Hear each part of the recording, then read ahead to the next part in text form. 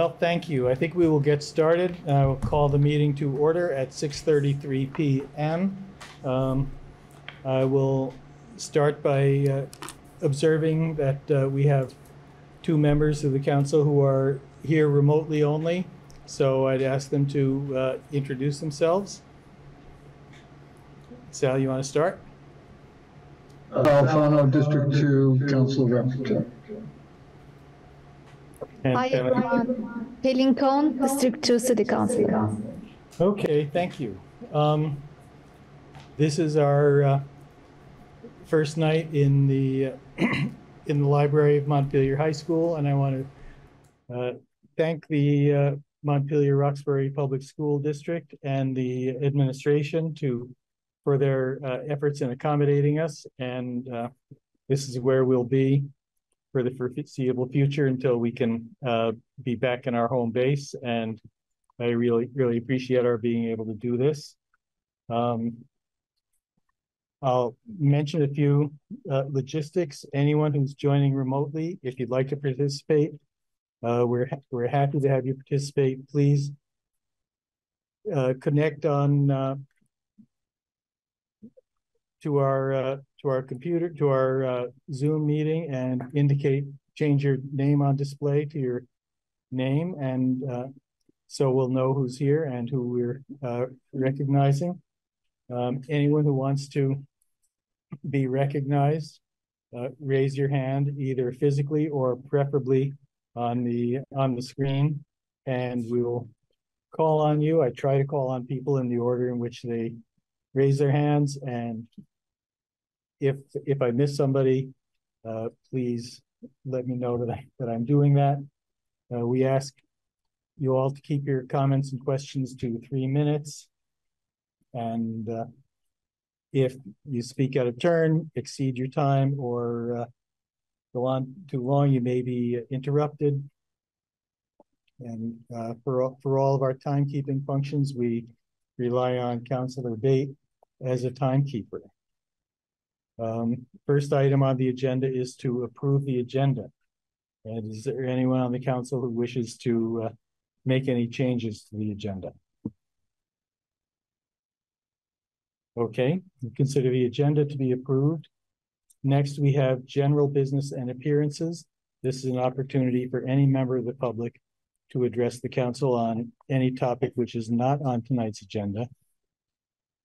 You can be recognized uh, in the method I mentioned earlier. And please limit your comments or questions to three minutes.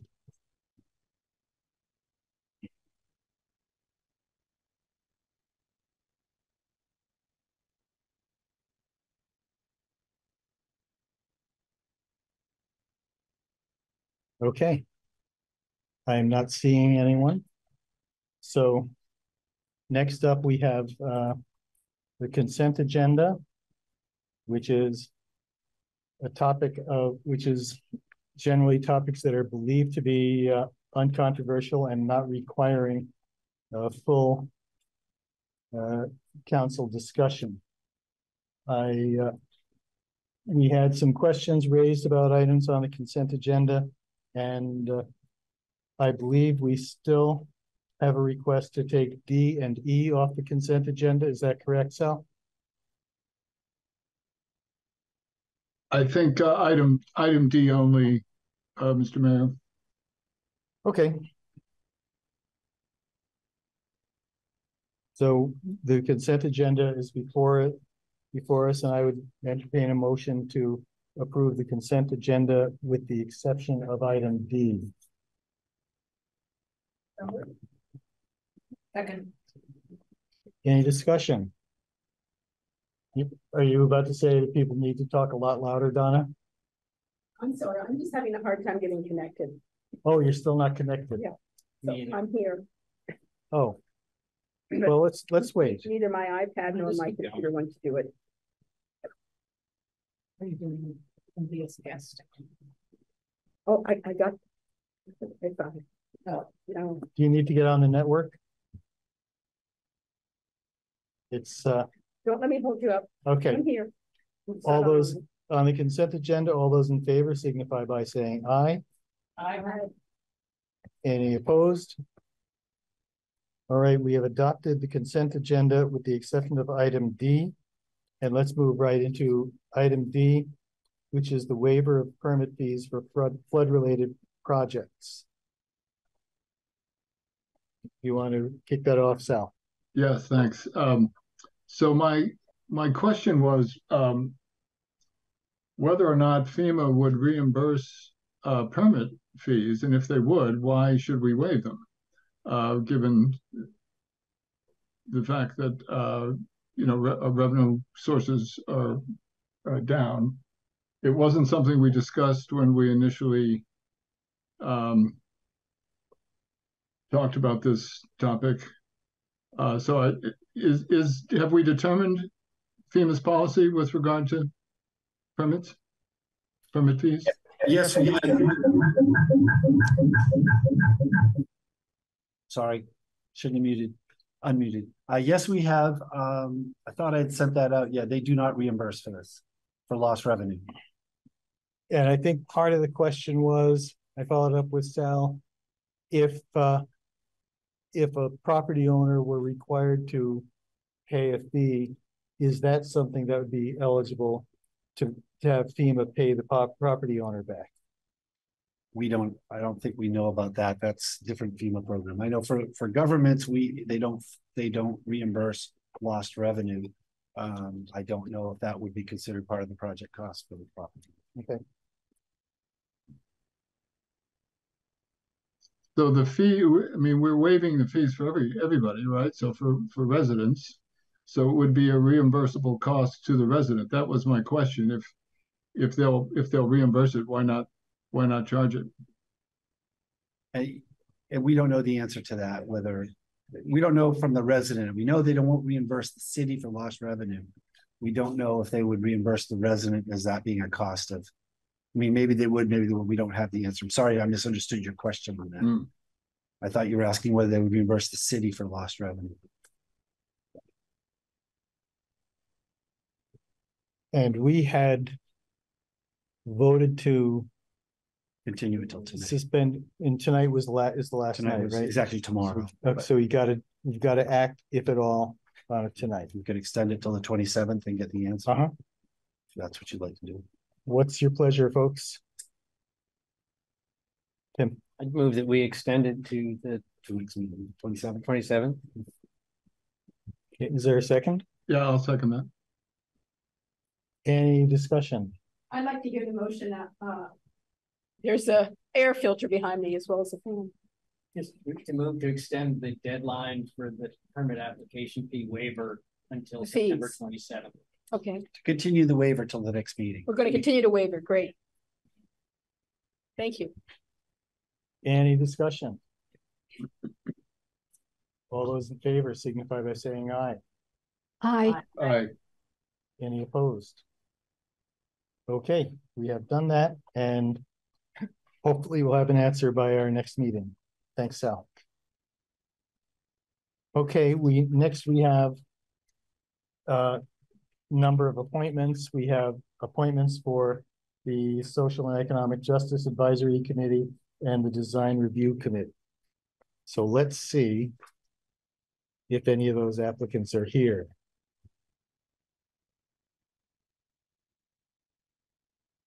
If you are, before I scroll down to uh the bottom of the list, you should feel free to raise your hand. Or yell out. I don't see any of the applicants here. Um. So. What would you like to do? We could, uh, we could, but are not required to go into executive session. Or we could, uh, entertain a motion to approve the candidates without going into, yes. I move we appoint Rebecca Coleman to the Social and Economic Justice Advisory Committee. And we reappoint Stephen Everett and Eric Gilbertson to the Design Review Committee. Second. I'll second. Is there any discussion? Tim, Just to acknowledge Stephen and Eric's amazing contribution over a very long time in this committee and they, I, I appear before that committee once in a while. I have to say it has evolved to becoming, it's a really good productive committee, thanks to their efforts. It's really great to have people who come out, learn the material, especially for an important committee like that. So, yeah. I agree. Thank you. Ready for the vote? All those in favor signify by saying aye. Aye. Any opposed? Okay. I think that gets us to uh to the main topic of tonight, the Country Club Road Workshop. Um, we have uh been talking about Country Club Road for a long time and uh Councilor uh Heney has pointed out that we haven't really had a chance to talk about the whole, the general all the ideas, the merits of the idea and where we're going with it as a council. And so that's what the purpose of uh of putting it on for tonight is. And uh are you kicking it off, Bill? Sure, I will, but we do have um staff here both in person and remotely. Uh, so there are really five aspects, um, it's kind of like five sub-agenda items that got laid out for you. The First is, I think, the big one, the workshop discussion that we had originally planned pre-flood. Uh, just a discussion about the overall plan. I think from the city's perspective, we, we had the actionable master plan or whatever we ended up calling it. And it laid out a concept for the site and laid out a bunch of steps that need to happen to, to make that happen. And, uh, you know, the sooner we can settle on at least the, the areas where the housing and the rec are gonna be, the sooner we can start moving those forward, understanding that we're not committing funds or making final commitments. Um, and so I think that's the, the big discussion that you all want to have about the sort of philosophy behind this, this project. Uh, the second is then if, if, assuming that the layout stays about the same, we'd like to get started on, on a project. We'd like to kick off the recreation area planning. Uh, we, we've set aside an area theoretically for recreation. What would that look like? Would there be a facility? What would be on it? What would be included? What would the cost? How would that work? You know, start, we have uh, the Ballard and King analysis almost. We'll have that for a future meeting to present. Uh, it's uh, just being finalized now, but it would begin that work. S- uh, probably most immediate before us is the topic of uh, potential FEMA housing going there. They're very interested in locating uh, uh, 30 up to 36 uh, transitional trailers that will be there for 18 to 24 months. Um, they've been very cooperative. We've and actually Doug is here from the Doug Farnham is here from the governor's office to weigh in from their perspective on this if if you'd like. Um, we are uh, we had suggested to them that they locate these trailers in the area of what had been identified as the first housing pod, and they're agreeable to that, so they would bring infrastructure into that area. We're negotiating with them about possibly upsizing the water line, uh, the length of that road, because it would be necessary for hydrant. So we could, you know, this could be one of these things where, um, we, we provide necessary housing to people who are without housing right now because of the flood, but also set ourselves up for a housing project in the future. Uh, so that is an interesting topic. So what we'll be looking for tonight is your approval for the concept and, and authorizing me to go ahead and work this out. Uh, as we get more immediate, we have the building as it sits now. There are some people that are interested in using it. Uh, we have haven't solicited a use for that, and I think there's a, a question about whether we we lease it to someone who wants a long term use, which means then that's going to be the long term use. If, if they're going to invest money to fit up a building, is that you know is that what it's going to be, or we should we wait for the recreation planning to complete before we decide the future of that building? And if so, if we decide we want to lease it now, then do we work with the two proposals we have, and we put it out and get a, broader sense of what the community might want? And then lastly, um, so we'd like some direction on all of those tonight. And then lastly, we have a little bit more of an open-ended policy discussion, and that could wait if we run out of time. This one could wait, but the, the whole thing about the concert that came up really pointed out that we have not really put any parameters around the use of, of what we envision for this property while we're planning and what process will be followed to make requests.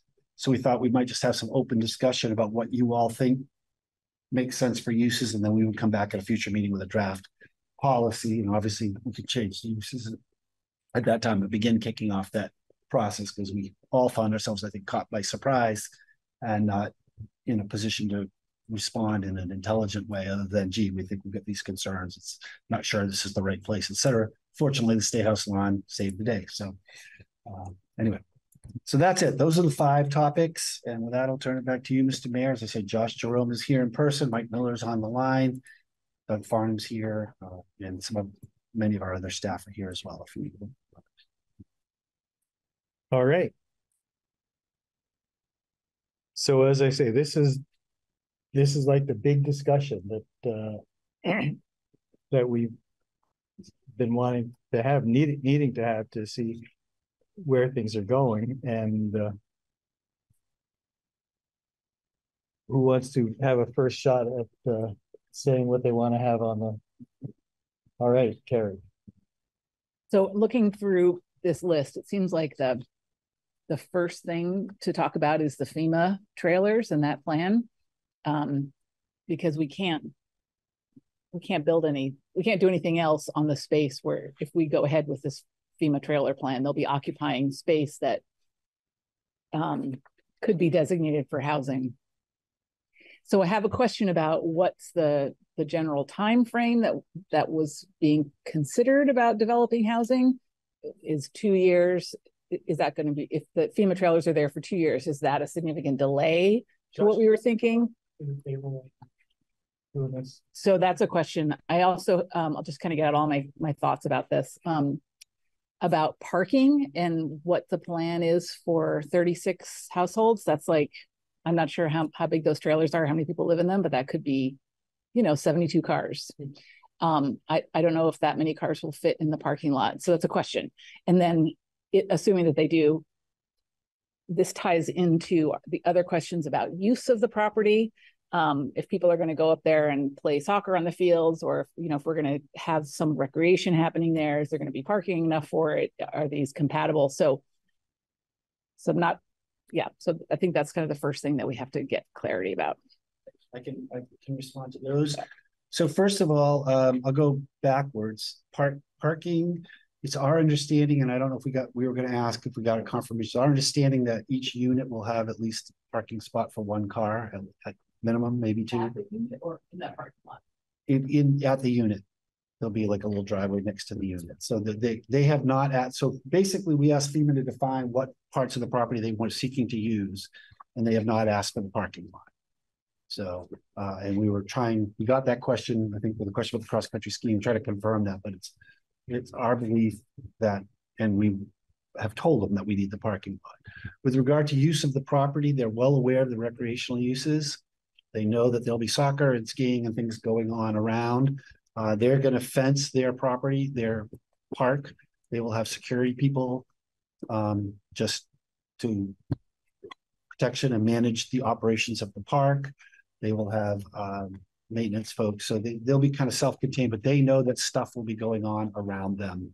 And they will, they're, I mean, one of the days we met up there, there was soccer going on while we were talking. We're like, this is, and they get it. And in fact, they initially wanted, for understandable reasons, they wanted to put their site in the flat recreation area because it's the easiest to develop.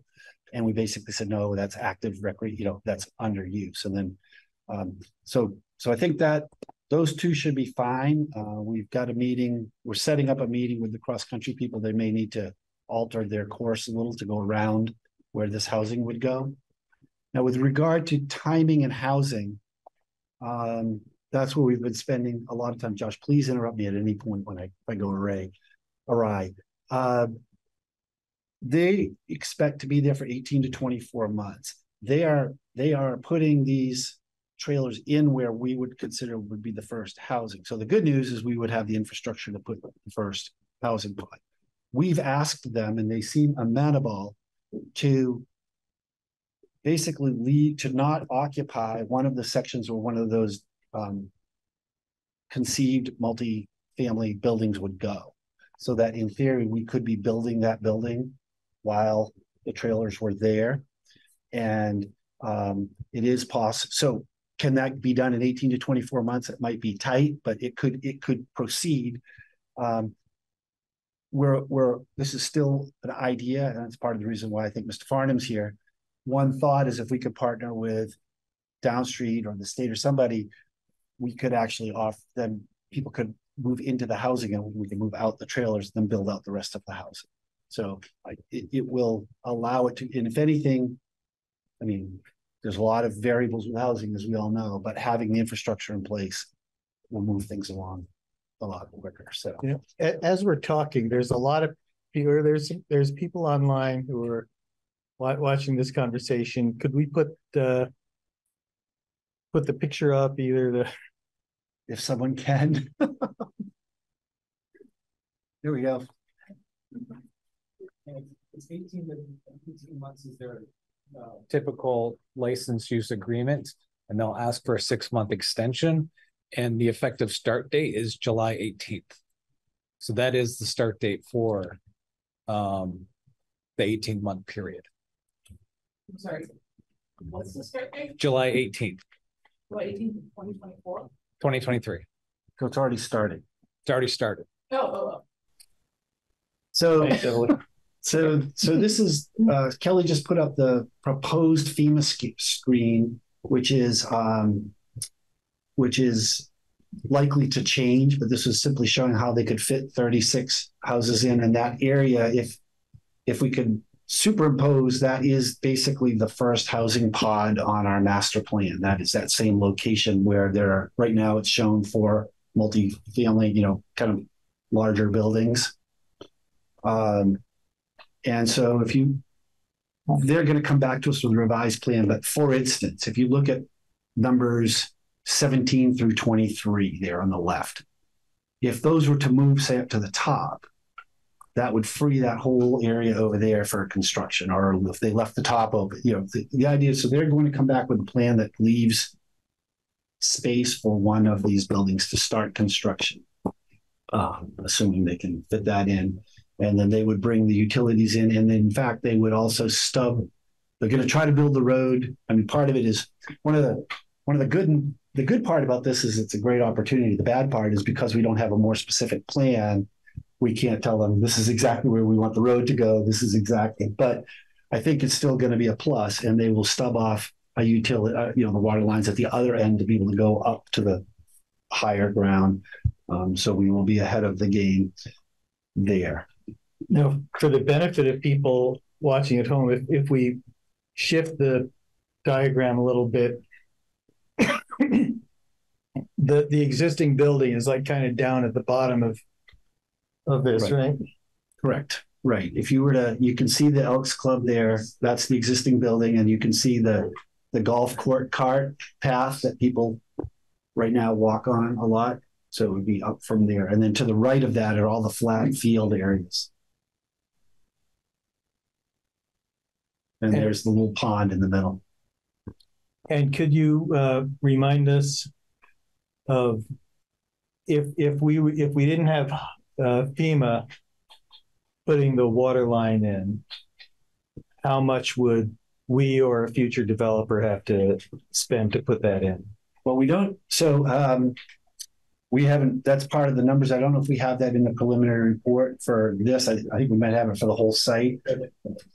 Um, we do know that upsizing the line just from Route Two up the hill to the site is approximately five hundred to five hundred fifty thousand dollars because we're talking about doing that. Um, so that would be just getting to just bring the to from the water line from Route Two up Country Club Road to this area. It's a it's a six inch line needs to be upgraded to an eight or a twelve, ideally a twelve. Um, they need eight for their size. We would want twelve, so we've been negotiating to pay the difference. The city would pay the difference in the pipe size if they're going to lay it anyway. Um, so we get the size we want. Um, it's only about a fifty thousand dollar difference, so they they'd be doing the work and we pay for them. Tim's questions earlier, is that pipe size then gonna serve the rest of? Yes, that's why. That's why we want. That's why the pump station ultimately. you know, So that's sewer pipe, that's different. Uh, so we probably, the, the sewer, existing sewer there is enough to serve their needs. it, it would need to be upgraded for our future needs. But basically, we couldn't really make the argument that that it's necessity for them to to upgrade the line for their uses. The water line, they need hydrants, and you have to have an eight inch line, so they have to do that. Um, and then we're just going to negotiate to have them put in a bigger line that we pay the delta for. Um, but the sewer line that would still be on us. Still, we'd have.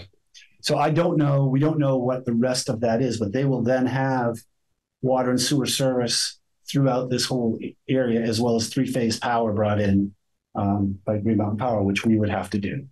So it's a huge start. It's really the big initial infrastructure investment that we would have to make uh, to go up. Are we talking about the power line being uh, buried or on poles? Uh, they talked about buried. Awesome. Great. Yeah. Um, I just had another question.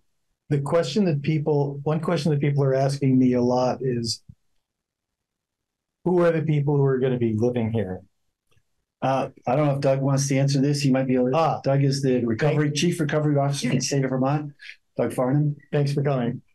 Yeah, Mr. Mayor. And Uh, so, yes, the, the displaced individuals, essentially over two hundred, um, people statewide had significant enough damage where they cannot occupy their homes right now. Over half of those are in Washington County. And then of that group, um, at least 50 have signed up for this direct housing program from FEMA, meaning right now they cannot find any other place to live in Vermont because of the shortages in our housing market. Um, so despite their best efforts, they can't find a place to live. And that's our major concern and why I'm uh, really thankful that Montpelier is considering working with FEMA on this. Um, because that size of um, th- those 36 lots in would really satisfy the need in central Vermont. And we'd have to, you know, figure out solutions in other counties. Um, but we are very concerned that people won't have a place to uh, live w- before the winter comes. And obviously, even at a best clip, this would be going in maybe just in time for winter. Um, but I do think that's that's very important. A lot of the uh, households came from Berlin. There was a large number of of households that were uh, properties that were condemned in Berlin. Uh, that's where most of them, I believe, coming from. Thanks. Tim. Just curious, is there, knowing what we go through for permitting for everything else we do, is there any special dispensation to allow this to happen quickly? So you don't have to go through this permit gauntlet that Yes. normally we would face? So because we are still in a state of emergency, Mm-hmm. um, the governor can exercise his emergency powers to adjust or waive permit permission uh, permitting requirements. So uh, we do view this these this population of displaced households as you know it's a direct result of the flood. It's directly related to immediate life safety. So I do think you know we would go through and work with the city and work with FEMA, and we would try to remove as many barriers as we could reasonably remove. Um, but the powers do extend to permitting and they do extend to temporary exemptions from statute. Again, we don't want to um, abuse the powers, but we do think that this is a situation that um, if Montpelier is on board with this, it merits a lot of urgency and we would do our best to make sure it happens as well. Thank you. And to that point, FEMA, the FEMA officials who are very um, it, adamant that they do follow all local regulations for why they asked us what we need for, you know, they they appreciate an expedited permitting process, but they said we will, you know, uh, when we met with them on site, Secretary Moore from ANR was present, and they said, "Yeah, we'll follow. We know your stormwater rules. We're going to follow them." You know, so they they were pretty clear about all those kind of things. I know there's a lot of concern about the timing, and with good reason. We're in mid-September now. I, the only answer we got from them was, "This is what we do." You know, we did this in North Dakota, we did this in Oregon, we did this in Louisiana. You know, this we we put these things in and we do them fast, and we bring the resources to get it done. And uh, you know, we'll see. But that's How about us for Montpelier? I mean, are we going to be willing to step aside and make this happen? Because we really haven't for downtown stuff. We're making people get permits now. Well, don't- they would have to get permits, but I don't know that. they- Okay, that's what I'm asking. Yeah. but I don't think it would. We haven't really We said that we would do what we could to get that as well, but. But having lived through what you could, Bill, I'm really wary. Yeah. I really What- wary. What's our take on that? Local permits? For permits? permits for these folks to do this project? For the FEMA project? Yeah. Uh, in terms of like local permitting? Yeah. Yeah. Um, I mean, I, I'd assume that they, we, we would help them go through our local permitting process. but And that's what I'm saying, can it up, be, a Expedite. yeah, Um, yeah, I mean, DRB meets pretty often. Um, and I mean, I don't know what the process is to, to have a DRB meeting just like ad hoc, or if we're just gonna waive it. So our, our commitment to them was that we'd expedite it as quickly as we could because of the emergency nature. I get what you're saying, but I'm living through some expedited bill and I'm not happy. Yeah. And I'm Yeah. trying to tell you, No, I that. hear that. No, I, I, and it's a good clear. point. So. I mean, Northfield Bank took three extra weeks because of Montpelier permitting to get a temporary branch. I know what I'm going through with permitting for our properties, trying to get things going, and I don't feel helped a lot. So if we're gonna help this project to happen, it's gotta be more than, oh, we're gonna work through our little process here. Fair enough. Got it? Yep. Thank you. Uh, Sal and then Lauren. Uh, I'm, I'm just wondering if, um, how hard and fast the eighteen to twenty-four months is, given the, you know, given the climate, available housing. I imagine some of these displaced folks are, are rebuilding and that, that market's also very crowded.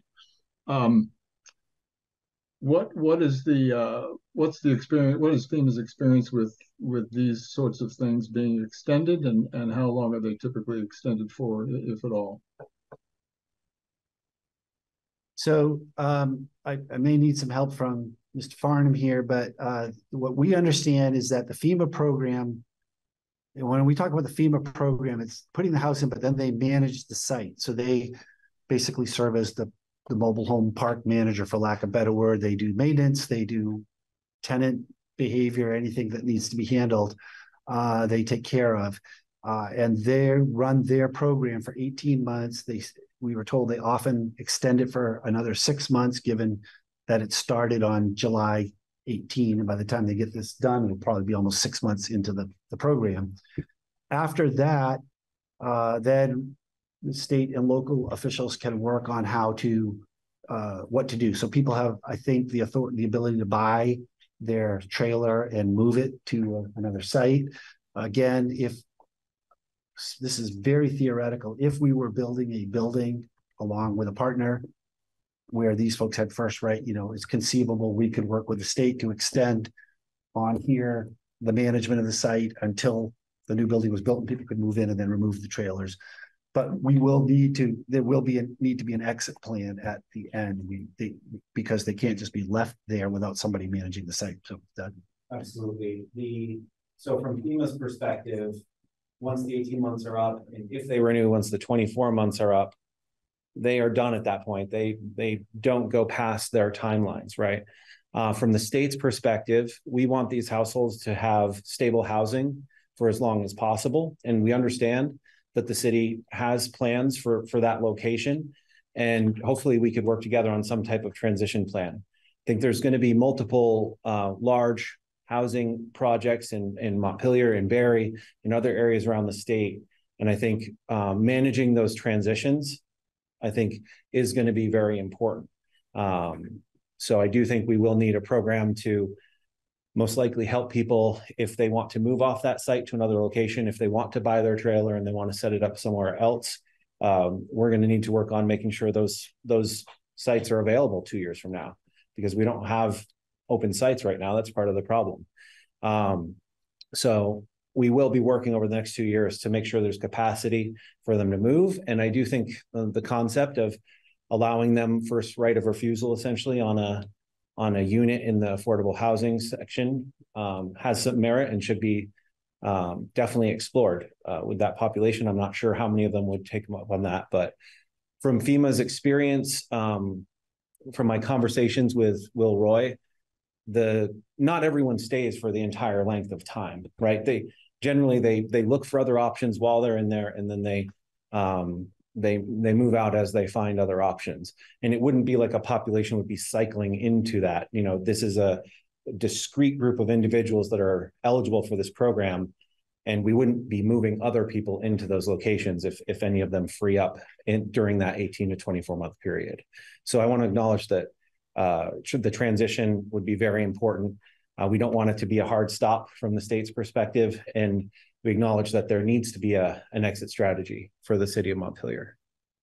And, and just as a follow-up, um, how does FEMA leave the site, uh, at the end of the two-year period? I mean, you, you've got utilities and so on, they, they're all stubbed up and capped off and marked, or what, They- what happens? They said that they would leave it however we wanted it, uh, including in some places they restore it as close back to its original. You know, some places they actually remove the utilities that they put in, um, to.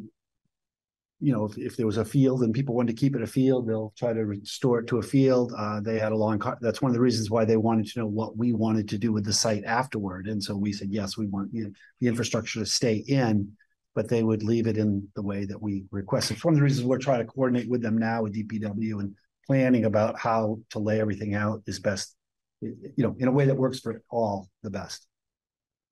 So there'll be a, uh, we'll have an opportunity at the end to, to, uh, alter or modify what we, what we discuss now, since it's very difficult to predict what, what it's gonna look like in two years, Well, or, or not, just curious. well, the, you know, the, where the water lines and sewer lines and the, and roads go aren't gonna, you know, mod, I mean, once they're in, they're in. And the, the trailers will be gone at some point and there will be, you know, new housing going in there. Um, I think the our modification would be, you know, we want you to pull everything out and restore it back to open field, which I don't think we want to do. Um, and so it would be, at that point, we'll, we'll accept this infrastructure from you, and then if we have to make changes to it at that point, I mean, I suppose if we wanted them to. I, I don't know, we haven't got that far yet, but maybe if we wanted them to move a, a line or a road or something, they might do that, but, um. We could, we could discuss, the idea is to try to get it as close to right as we can at the front end, so we don't have to do many changes at the end. Yeah, no, I, I appreciate that. I'm just, uh, wondering if there's an, some sort of allowance in the agreement that some discussion would take place at the end, given that, uh, things may have changed on our part as well as, uh, on, on FEMA's part. We could certainly raise that, um, you know, we don't have a written agreement yet, we're just, you know, we're laying out the terms, what would be discussed, so that part of. Part of tonight is to see whether you want us to go ahead with that, so. Uh, we would obviously have a, have to have a final uh, covenant, so that's a good point, we can add that in. Uh, Lauren, Yeah, thanks. Um, I mean, first of all, big picture, really grateful this is in the works. I think just the urgency of getting shelter for people. So thank you to everyone who's working on this and trying to make it happen. I think it's the right thing to do. Um, did just want to underscore the importance of the transition plan, both knowing, I'm sure we've all read stories of the quality of these trailers and just knowing getting people into long-term housing so they're not in this temporary situation. So just how important that will be and hopefully we can partner for the Montpelier side and hopefully that's a bigger state regional effort. Um, and my question was kind of answered um, when I first raised my hand, but just trying to understand. So if we're invoking, you know, emergency authority, but the city still has some say, just knowing that this site, you know, we have these long-term vision for it. So just, I mean, do we have because of the permitting, you know, there's this tension between we want this in as quickly as possible and we want to make sure it's done in a way that is going to facilitate the long-term housing that we need. And so just like, could they decide to do something that we don't like on the site? I mean, like, is it this, it ultimately is a, is an agreement that's going to be written with the city and FEMA and the state, or how does that work? If it's state emergency authority, like could the state supersede us? So there's two, there's two issues here. One is that there's permitting and, you know, we've raised a good issue and I've already sent a message to the planning director about how we work our way through that. Um, but the second issue is we're the landowner. And so anything they need, uh, they need permission from us. So, you know, um, so we would say this is, this is what we will give you permission to build. And then we've got to figure out how to build, I mean, within reason, I understand, but I mean, they can't suddenly come in and do something different on our property. They would, uh, we'd have an agreement that says, here's what you do, and that's what you do. Uh, so we have, we have even more control even than permitting with that, because we're, we're the landowner, so we can say, you're gonna have this kind of hydrant, you're gonna have this sort of thing, and here's our, here's our codes, and here's our, things, so. I- Mr. Farnham? I would just add that. Uh, the state would not be a party to the agreement in any way. Like Bill said, the, the town, the city is the landowner. Um, the only involvement the state, state would have is, you know. If certain permitting or processes needed to be waived to move it faster, that's the involvement we would have. And then separately, working together to figure out what the transition would be like, because FEMA would not be involved in that transition plan at all. They kind of have a just a hard stop to their to their processes. So the the transition would be between the state and the city. Um, and yes, emergency powers lot would allow the governor to do some things involving real property. That is definitely not what we were talking about here. It is the city's property and the state's going to respect that. just hearing this, um, a question that occurred to me that maybe nobody knows the answer to yet is would this be permitted as a mobile home park under Title ten? And then would it be subject to state, you know, the statutory and uh regulatory provisions for uh, discontinuing a mobile home park when it, uh, when we get to the end of that process. Can't give you the answer to that right now, other than to say that this has always been, everything we've talked about, including with the state, has been that this is, you know, a temporary Mhm. arrangement. This is not a mobile home park that's intended to be there for long as it's an emergency provision. Even when we were talking to Secretary Moore about the provisions, she understood, this is. This is not, this is not somebody coming in for subdivision to create a long-term, this is an emergency need. That has the benefit of um creating an infrastructure, you know, our, our follow-up projects would presumably need. To go through all the processes and permits, the more permanent locations on there. So that could be one of these things where you talked about waiving statutory requirements. That could be one of those requirements, how we. How, how a mobile home park would ordinarily get permitted versus how, how we're doing this. Yes, I also think it's something I can research on the state's end, make sure there won't be any surprises or roadblocks there, but. Uh, the, the other factor here is that this is a federal government program. It's not a private. Commercial park, so I, I think that would be something that. You know, would, would more than justify an exception. Uh, I know that we are going to be having discussions with the legislators about. In the upcoming session, and we could make sure that, um. There's, there's nothing, um, no unintended consequences. Great, thank you. Um. Sal, Well, I, I'm, I'm sure there's a, a long list. I ju- I just haven't seen it, so that's why I'm asking these questions. Um, I'm assuming that. uh, Well, I'm wondering if, uh, what, what services FEMA provides with, um, respect to the property, um, you know, plowing. Um, trash pickup, uh, grading the road in the spring, you know, that kind of stuff. Is that all handled? By FEMA as the, as the manager of the, of the project? Yes, and um, and actually, I believe it's going to be paved road. um, Not, not gravel, so Yeah, yeah, we'll be plowing, taking There care of the, the- the anything- lawn, right. vegetation, picking up the trash. Yep. Donna, I think this is a wonderful opportunity and, and thank the resources of FEMA to allow us to work with this and meet this need. If we were to go ahead with this, I'm thinking of a motion to authorize you to act on our behalf. uh, How wide of a spectrum of authority do you need? Because you're gonna be ne- negotiating and putting this, issue Would be, you know, I, I think. You know, obviously I could bring it back for final approval if, if you wanted. I, it's really just timing, right? It's, you know, time. we'd have, we might, we might need to call a special meeting or something like that. It's more to be able to keep this moving.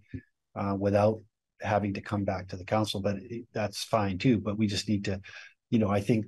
The, the terms, so to speak, that we've talked about, and we pretty much discussed, it's.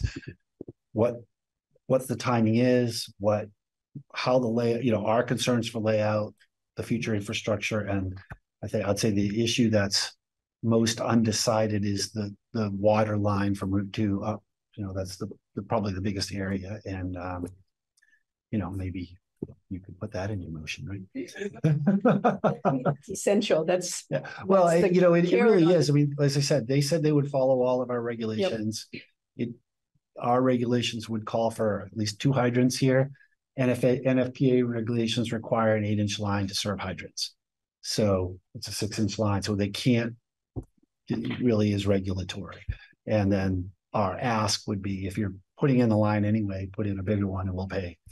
You know, we'll pay the, the delta. So I mean, that seems re- the right thing to do. I mean, I, I certainly uh, would like you to be able to act forward and, and move on this as quickly as possible. I mean, December, it's gonna be snowing before December. It's gonna be a tight line. Um, So I, I entertain a, a motion, I mean, I give a motion, uh, to authorize Bill to act on our behalf to work in a contract with FEMA to achieve these thirty-six units for twenty-four months. Okay, is there a second? Okay, it's moved and seconded. Any other discussion? Lauren? On the process point, I mean. To me, I think just keep it moving and if it's all consistent with everything we've talked about, I mean, obvious, I, I would think if some. Change to that or some big red flag, then we could call a special meeting and try to make it an emergency and keep everything moving, but you know, if it's consistent with the, I mean. Conversation we've just had, I would want to, I just want to be clear that I, I'm voting to like, keep it moving. Exactly. Confidence that Bill knows he'd have to come back and face us, that he's gonna do it. for you. Okay, uh, Tim, were- did you have your hand up too? Just thinking that, do we include in the motion something about expediting permitting and out in the city part and that we really want to make every effort to make this forward quickly? That- that I shouldn't have to say it, but. I feel That sounds like I do. consistent. Sounds consistent with the intent, doesn't it? Yeah, That was to expedite the project, right? So Yes. whatever it takes to Yes. expedite the Right. project. Lauren? And does the motion reflect that we want to ensure that the infrastructure being built reflects the long-term needs? So the longer, the bigger pipe, water pipe, I mean, I want to make sure that's. Part of I said everything we already talked about. Okay. Yeah. However, John's capturing that, he's got it. John, are you okay with that or do you need a more? detailed- we're at breaking point. Okay. Uh, Sal, I'll call on you and then I see some members of the public who also want to be heard. Um, I'm just wondering if we can, um, postpone, uh, a vote on this motion until we've talked about the, the Good Samaritan. Uh, just, I mean, I, I, like what I've heard so far about this, the FEMA project, but I'd, I'd like to hear from the, uh, a little bit more about the Good Sam project, which is taking place right, right on the property as well.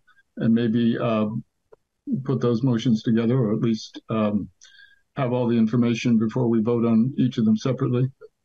So um, at this point, we're not really voting on the Good Sam proposal tonight. I think we had shared that and everyone, you know, we were going ahead with that based on the emergency need for shelter. Um, but we have had conversations with them and with FEMA. FEMA knows this is happening there. Uh, Good Sam knows that th- this is being considered.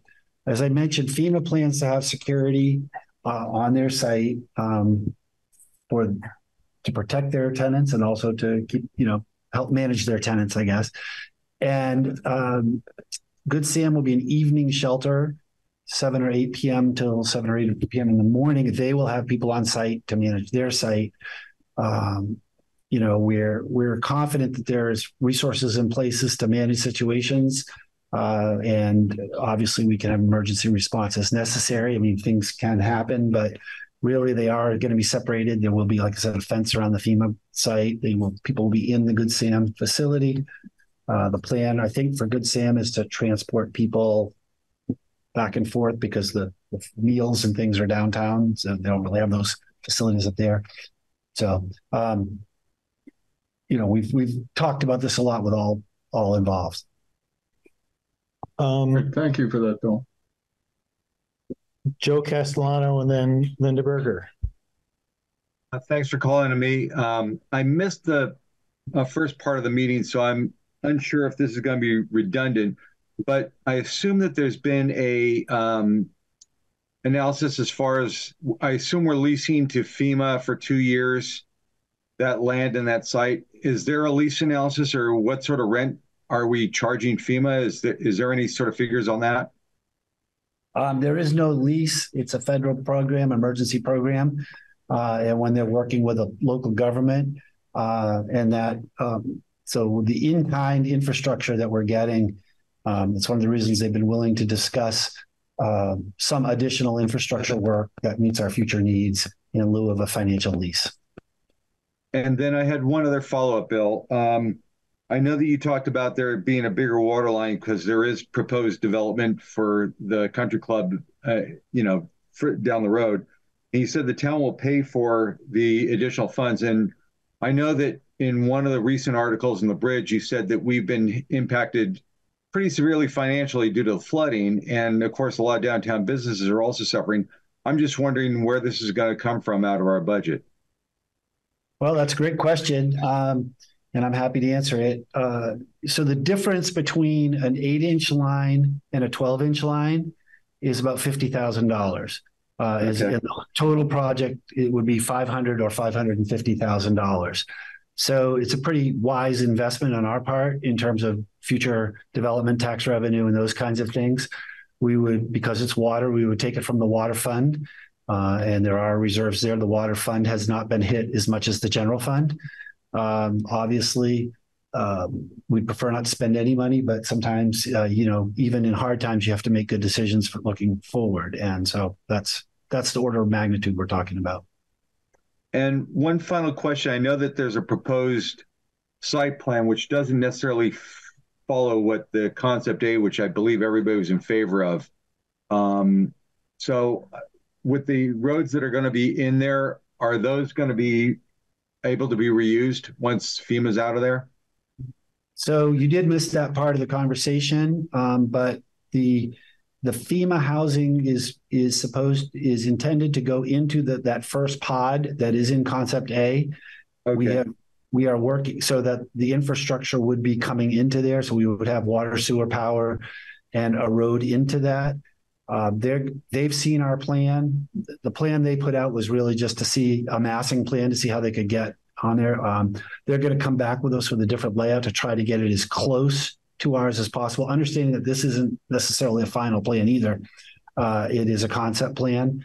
Uh, so yes, we will be able to reuse all of that infrastructure uh, to develop going forward. And you know, if we have to reroute a road, maybe we do, but we hope we won't have to. Okay, that's it. Thank you. Thanks, Joe. Uh, Linda. Yes, thank you. I just had a question about uh, transportation for the the people that are housed by FEMA.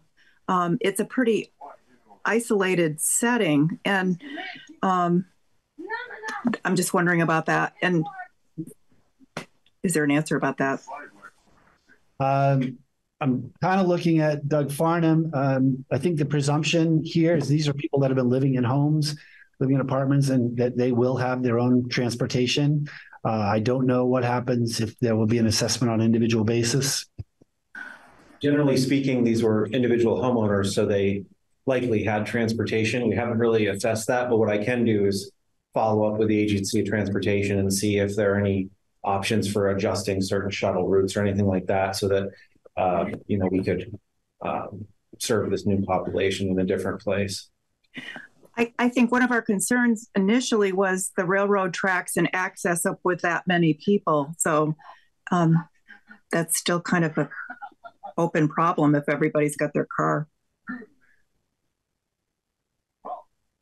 Yeah, I mean, I think the if it's 36 vehicles, people don't always leave at the same time in the course of a day. Uh, the the railroad does not run that often. Um, uh, we're not seeing that in the next year or two as being a, a significant issue.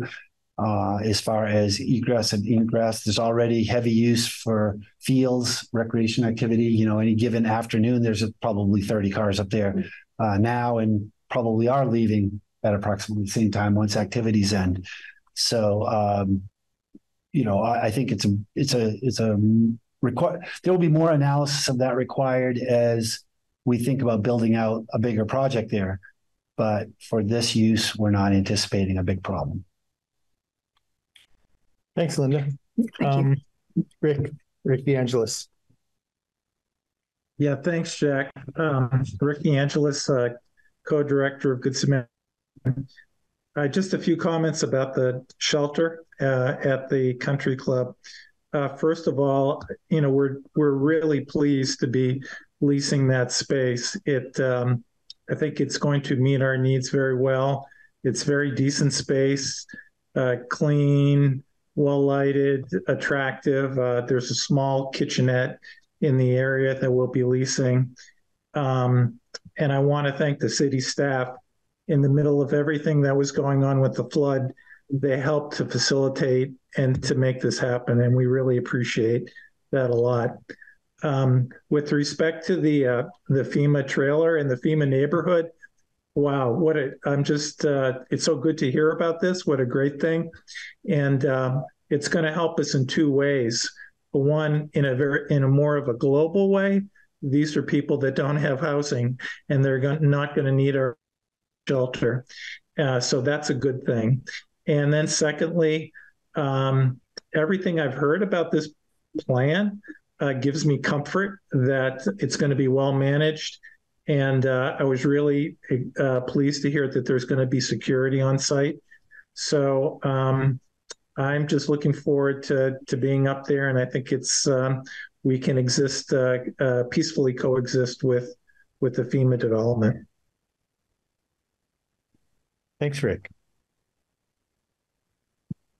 I don't want to foreclose discussion prematurely, but are we ready to vote? If so, all those in favor of the motion signify by saying aye. Aye. Aye. Any opposed? All right. Thank you. I, I think this is great. I don't see how we can not do this. And I think this is really uh, great. And a number of people have asked me, well, you know, we know what's happening in Montpelier. People know that there's a lot of uh, housing loss in Barre, And then my friends are saying, well, well, what's happening to those people who lost their houses? And and this is really reassuring that this is going to meet the need for central Vermont. Thank you, Doug, for coming. Thanks for being here. Yes. You're welcome to hang out the rest of the night, but that's the FEMA part stuff. Yeah. Okay. Yeah, there you go. Very good. Thank you. Okay, so uh, one down. Direct question about FEMA? I've heard that they have been meetings about some regional long-term follow-up through FEMA. Uh, and I just wondered if we have city staff participating in it. Um, uh, it's it's long-term follow-up. Uh, FEMA has laid out sort of a, a whole structure where when you have an incident of disaster like this, that they they follow up, and encourage local uh, development of groups that then follow up long term.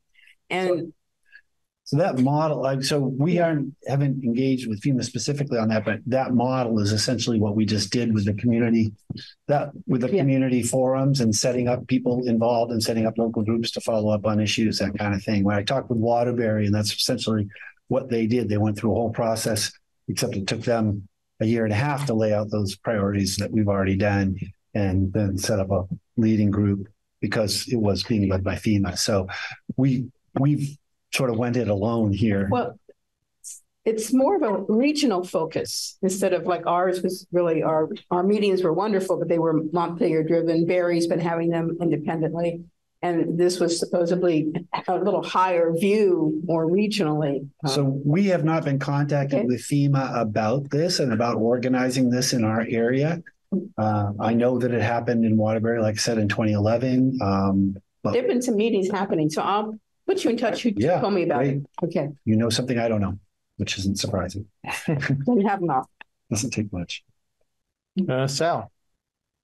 Uh, I was just thinking that um, I think we we might want to revisit the uh, hunting situation on the property. Didn't we um, essentially extend the use to include hunting since it had been traditionally allowed on that property. And now it's, I mean, I can't imagine the hunting's going to be any good with all that heavy equipment out there, but um, should we officially do something about um, the status of hunting on that property now that it's going to be uh, residential.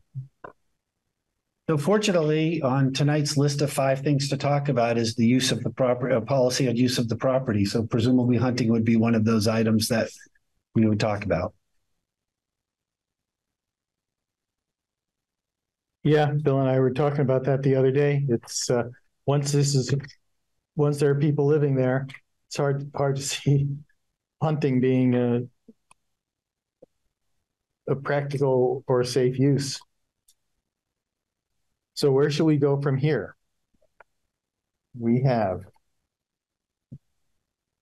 Bill, were you wanting to talk about recreation next? Uh, well, I, I thought we would start with, you know, I kind of picture. arranged them from big to Yeah. big to narrow, but we kind of jumped in the middle. Um, so really whatever the council would like to talk about next.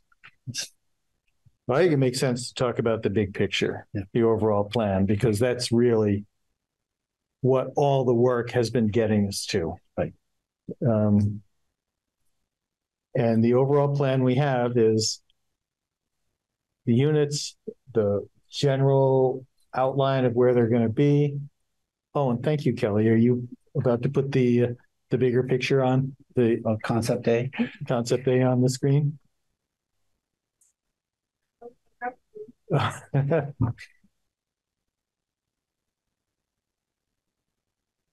I think that's useful while we're talking. Anyone want to start?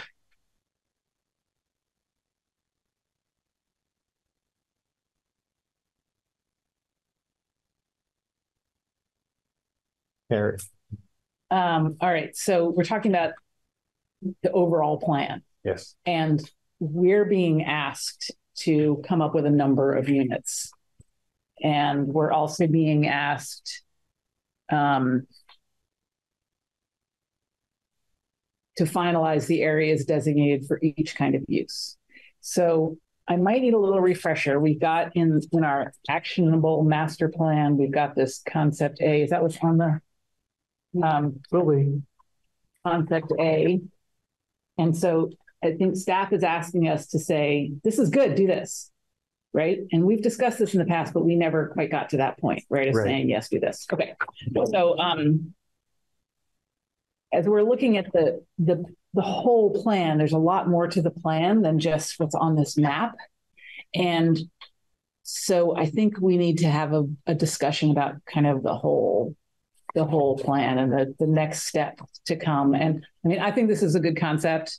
Um, I'm, you know, I think it's I think it's worth pursuing. Um, but I think that it's a bigger question because there's tons of recommendations. There's pages and pages of next steps. And so I would love us to be able to kind of get clear on what we're directing staff to do and say, yes, we think these are the good next steps to take and you should take them and get going on them. Um, I don't feel like I don't feel like it makes a lot of sense for us to decide on a specific number of units at this point. And if you read through this plan, like every other sentence is now don't take any of this written in stone. It's all going to change, which makes sense. Um, and we don't know who's going to develop this, if anyone's going to develop it. We don't know what they're going to come up with when they start to develop. There's a lot of next steps that involve permit assessment, more due diligence looking at the site. Is there going to be blasting required? Um, there's a lot of variables that could influence how many things get built. So if we don't have to say a certain number, but if we can just say we like this concept of multifamily housing in these general areas, I'd be a lot more comfortable with that. So I can, I can respond to that if, if you like, unless somebody else was ready to jump in. Um, I agree that we can't set a set number. And I think what we were, what we were really talking about was, um, if we have a target. So if you set 300 as the target, you, you won't get 400, right? And so if we, if we say we'd like to shoot for, you know, the higher end of what's possible, and that we have to do all these steps. I mean, these these are all things. We've got to do the zoning, we've got to do the master plan, we've got, you know, all the the engine, all that stuff. And at some point, you know, we would come back to you and say, you know what, 372 is the sweet spot. We can't get 500. And that, and here's why. And because of blasting or or whatever. What what we're trying to get in is is that you as the council, you know, if you think about the the big policies, is this the direction you want to go? And and are you would you like us to tr- pursue? And we're going to ultimately we're going to come back at some point about the rec area and say, you know, is this where you want us to go? And it'll probably include everything under the sun. Doesn't mean we'll end up with you know pools and basketball, but you, you won't get them if you don't start looking and assessing them. And we know there's all this stuff. So basically, we're saying we're ready to start taking this stuff on, you know, in the order that it needs to be taken on. But we we haven't expended resources, part because of the flood, but also part we want to make sure that you were saying to us, now start putting this into action. This we're okay with the idea. We would like you to get as many units as you can possibly get on there, or we want a mix of units, and we're in the, you know, this is the range we'd like to see. I know there was some question about could we put housing, you know, further down here, uh, and we actually came up with an idea. Well, if if we were to build a new uh, community building, new housing could be upper floors. So we get both both worlds. You could have, you know, you could have use the space double uh, to to get those and have and that kind of thing. So, um, you know, those are all ideas that can still be considered. We're just, I think we're excited. I think you know we get hearing a lot when you know nothing's going to happen until we get going, and so we're basically saying we want the council to say, okay, we've coalesced. This is the general idea. This is the general number we're looking for. Start and keep bringing us back the information, the decision points as you get information, and when you get design costs, and when you get these things. So that's what the staff's looking for. That's the kind of direction we're seeking today. Not specifically, it's going to be 472 units, and they're going to be exactly right here. And, and Bill, it looked like uh, Tim was yeah. about to say something too. I want to ask, throw in a question too, which is that the conceptual plan we've been talking about has mostly been, you know, multi-unit housing of various kinds, you know, townhouses, uh, apartments, that kind of thing. Um, does this? I've also heard people say, well, there's a role for uh, for single-family housing as part of this, and is that something that uh, we need to decide now in order to uh, for the for you and your staff to be moving forward?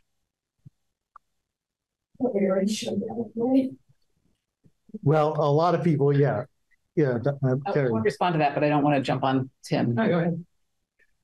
So one of the things that struck me about reading this was it wasn't really clear to me that the um, the plans for what kind of housing were based on anything other than people's opinions, like the public opinion primarily, and those of us on city council. And that doesn't feel like a strong enough basis to make that decision to me. I don't know. Like I, I want to know more things about what's the actual need in the community, like the market, what developers are out there who might get funding for kinds of projects. So I would I would rather not limit us at this point. I would say that you know we have a preference for getting a number of people in there for a diversity of housing. We're we don't have a preference for you know ten story tall buildings but I, I don't know, you know, if someone came up with a, some developer wanted to do that and could make a good case for it, I'd be open to it. So I, I want you're to keep it flexible. With me saying, how, how flexible can we be at this stage and still enable the city to plan well to move forward? Tim. I think a lot um, about this project. I, it's a beautiful piece of land that we bought. I think it certainly seems to have jumped in ahead of other priorities we may have had as a community prior to this purchase. Um, you know, the recreational opportunities, about 80% of it on this plan that we're looking at is recreation at some level, which is wonderful. And I think in a big picture, I, maybe we can endorse that tonight. Um, because I think that's clearly part of what's going to happen. Uh, we have, yeah, maybe we've done some more engineering since we last talked because if you got water line sizes, must be something happening. Um, but we so I don't want to interrupt your speech, but just so you know, I mean, basically, we used our own engineering staff to say what size line we need Okay. to serve that many people plus size, and and we also and we know that an eight inch is required Yeah. for the hydrant. So it was it was our own, you know we haven't designed the whole thing, but we know I mean it's eight or twelve, and, and Yeah. the twelve should you know basically on your own calculations. Okay. So I, mean, I, I still think we need to do some basic engineering, we do, and absolutely. which I've been talking about for months. But to really quantify what we can do in this site, um, it appears in this material that we got for this meeting, it's a little different than I remember from our last public meetings. But it sounds like the secondary road is going to be required out um, for this number of homes. It, it didn't sound like it was as optional in this report as I heard just people talking at the last presentation that Clayton Burke did. So if that's definite, that's a really big cost and infrastructure piece we're going to face. And it has to be considered as we look at the viability of this whole project. And looking at numbers, talking with other developers who actually have built streets recently or gotten really recent estimates, um, you know, just if it's roughly 0.85 of a mile from middle of this site down to somewhere on Barre Street to connect through the Zorzi property, if you went that route, at today's cost just for the road without the engineering design, probably having to build bridges or culverts, you know, you're over 6.7 just for that. Um, if you go up to the Brock property the other way, it's a little less. You'd be in the three to four million dollar range, which is still more than we paid for the whole property. Um, I, I think we've really got to look at the big picture. And I think the real big picture is we're not developers and we really should keep out of that business. I think we should set this project up so housing can be created on the portion that we think should be housing. We've got to modify our zoning because our, our zoning right now won't allow this to happen. Um, so I think that's something we really need to do. And then step out, you know, set it up. You know, you'll have control because of we own it. You can define who you sell it to. You're going to have be able to define through permitting processes what they can build. So you can say no 10 story buildings, you know, whatever, but let the market decide what kind of housing at whatever point in time this actually happens, because I don't think it's going to happen for at least a couple of years if pace things are going. So I guess that would be my take is let's define the rec part, let that get going. Um, let's do some basics to set the table for someone to create some great housing up here. And then let's get out of the way and let them do it.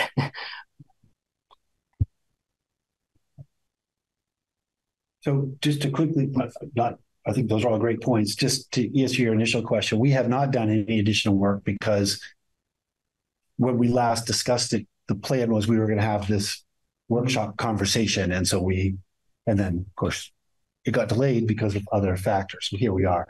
So all of those are appropriate things that we need to follow up, including the, the need and costs and you know, are these eligible for state housing funds? Right now, there's a lot of state housing money uh, that you know, so we, we get it, all of that stuff.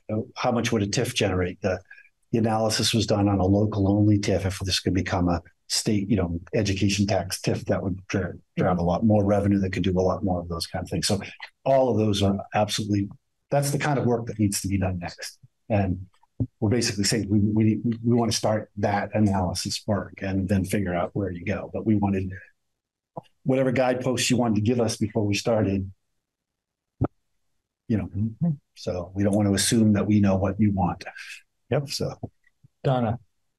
It may sound that we're not on the same page, Tim, but I, I think we are. Is I do think we set the guidepost, and whether that's guidepost of 300, 400 houses, that we have some concept of how many units we want on that piece of land. And for me, it's really important that it doesn't have single homes. I don't want to see another Towne Hill.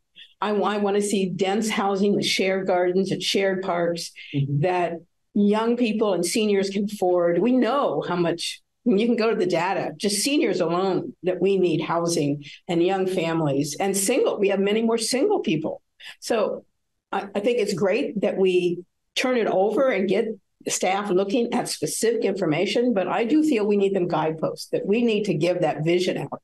So that's where I'm at is some guidepost is important. And so the guideposts you're thinking about are things like rough order of magnitude for the number of units, um, general concept that you Of prefer multi- not like- to have like single family with the housing. Groups of townhouses, uh, Uh-huh. shared units, you know, dense housing. Generally putting it where, where that, uh, map shows that Yeah. you put it. Tim? We're going to rezone this, and it's going to go through a zoning process Mhm. that ultimately come back to city council at some point for approval. So we will have that approval with the rezoning when it's studied through zoning to say, how can we do this? So I'm not worried about zoning, you are.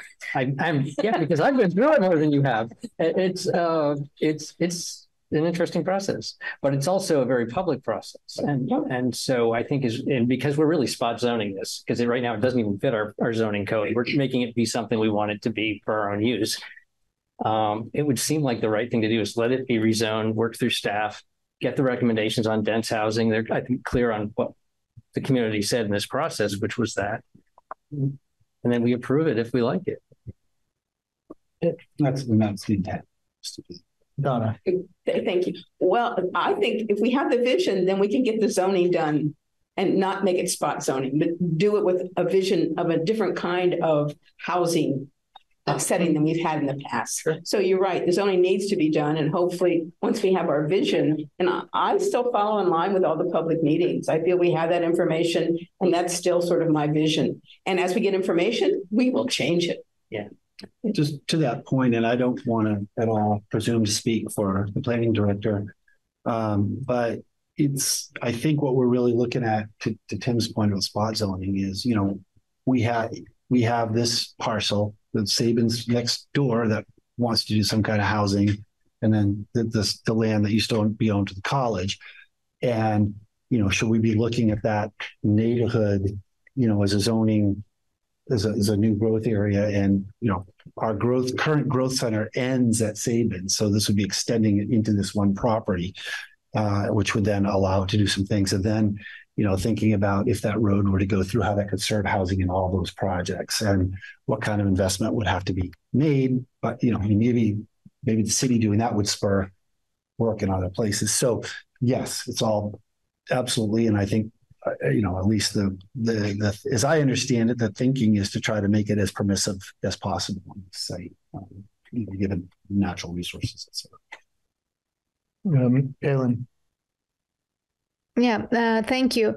So when we uh, were discussing to have this workshop, I mentioned um, some people ask me about public transportation because if um, like old people, elderly, or uh, single uh, people, if they want to live there, and they will not have cars, so how will they will like come to downtown or go other places. So, is there any plan uh, to create public transportation for this uh, side of the town? So it will connect it to rest of the uh, downtown. It would seem to me that that's going to be, you know, an essential part of the planning process is, you know, and, and that, you know, right now, public transportation in Vermont is pretty, you know, it's it's funded largely by the state and it's based on where people are and what their needs are, their route needs are. So if suddenly there's a, you know going to be a much larger population here, you know, I think we'd be in a, position to try to negotiate a route uh, up in here, particularly if there's a, a, youth center or a community center that people want to go to. Uh, so absolutely, that would I think it would have to be part of the, the planning for this is how how do people get back and forth so it doesn't just become an automobile hub. So, can we also think about other ways in addition to public transportation, maybe like shuttles? Uh, you know, just give uh, different alternatives so right. people won't be dependent on only one, uh, you know, modality uh, of like, yeah, driving around. So, Correct. No, I think, I mean, all of that is some form of public transportation, whether it's a big bus or a small shuttle, or, you know, maybe, uh, you know, I just thought of this now, so there's no thought to the merit of it, but, you know, depending, maybe a developer creates a neighborhood association and they have their own neighborhood van that, you know, that okay, comes, you know, some senior housing things do that, but, okay. you know, it just becomes part of, hey, you live here, you get this transportation route or something. So I think there's a lot of things we could think about. Okay, yeah, thank you. So whatever type we are talking, it will be part of the public transportation planning anyway. Correct. Okay, yeah, thanks. Lauren. Yeah, thanks. Um, I guess I'm a little bit unclear how much specificity the city needs. Like, I mean, just looking through the plan, it's you know, okay, we need to step one, do zoning, we need growth center designation, look at the TIF, do a housing needs assessment, like it's all here. Yes, And you so don't need I- to, you so just need to tell, tell us to go on that. Right, but I guess what I'm not clear, so I mean, I think it's all here and then it's got their RFP, like everything we're talking about is in the plan. Mhm. And it's like, we've talked about it before, we had a lot of new councilors, so we wanted to be able to make sure that the concept that had been kind of like we were ready to go and then we had a bunch of new councilors and we wanted to make sure. So I'll, I guess it's just, is this really off base, this concept for the folks who have come in and that's all you need to know? Or is there more specificity than that? That's basic. Okay. I'm still good with where we That's one way to put it. live here and I mean, I mean, not just the new councils, the council as a whole.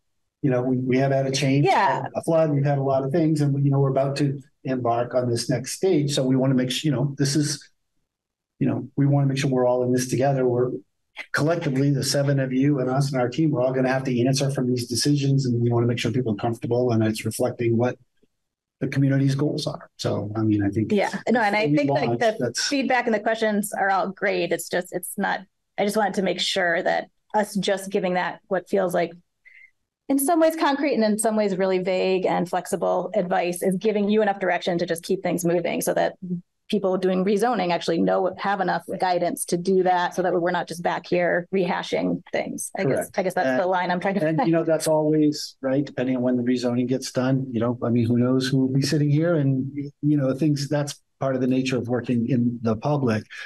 Um, but uh, you know, I, I appreciate that. And I think, you know, I want to be clear that just because you give us the go ahead, there's going to be a lot of check-in and a lot of updating and a lot of decisions to be made by this council as we go Yeah. forward. It just means we're, we will start going down this list of doing things and which was, we haven't at all. We just kind of stopped.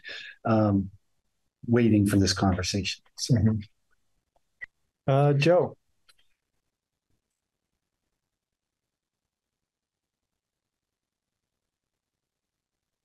it's on you. yeah, I think you may be muted, Joe.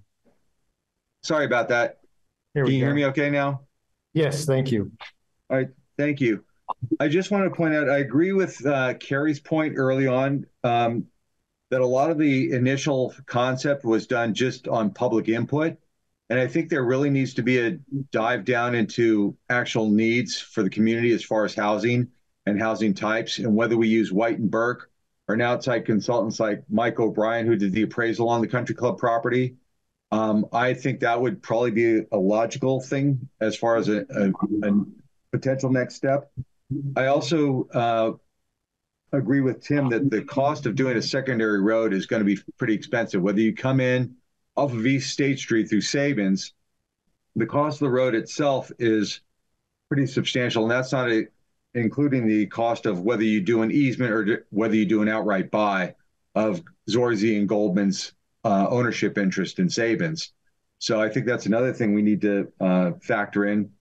And I'm looking at page 20 of the uh, agenda packet that has some of these costs. And I believe that one of the uh, bonding things that they said is that we're going to have to bond for another $16 million to bring up infrastructure, including um, new roads, new water sewer, new connector road. And I'm just wondering, you know, we've recently had this devastating flood majority of our downtown commercial tax base has been devastated. So I'm not sure where the money's coming from. And I know that there's been proposals as far as TIF districts, but as far as I am aware of, there's been at least two failed TIF districts in the state. And I'm wondering how our TIF district is going to be a little bit different. So I just replied that those are all the, those are the questions that need to be asked before we, before we proceed. You know, we need to figure out real costs and real revenues and what, you know, what, you know, are we going to sell the land, lease the land? Like, where does the money come from? Are we going to try to use TIF? Are we, you know, what would that generate? I mean, that's, those are all the things we need, would need to do before we uh, go ahead. Um, I'm not sure which are other failed TIFs. Most of them have been highly successful. And I think the question is, uh, you know, we've withdrawn ours right now, so we would have to reconstitute it. Uh, and part of the reason we re- withdrew is was basically thought it was too broad and we wanted to be able to target it to, you know, real project and not um, a proposed project. Uh, we have the authority to do a municipal only TIF, so we could reallocate the municipal taxes from th- this project to this project. Um, and then we could go for a statewide TIF where we also could allocate uh, funds. So, uh, excuse me, education funds. I short circuited there. Um, and we would have to analyze all of that. And as I said, right now there's also a lot of state housing money and have talked to the state preliminarily about tapping some of that for this kind of project. And they said that was certainly um, something they want to continue talking about.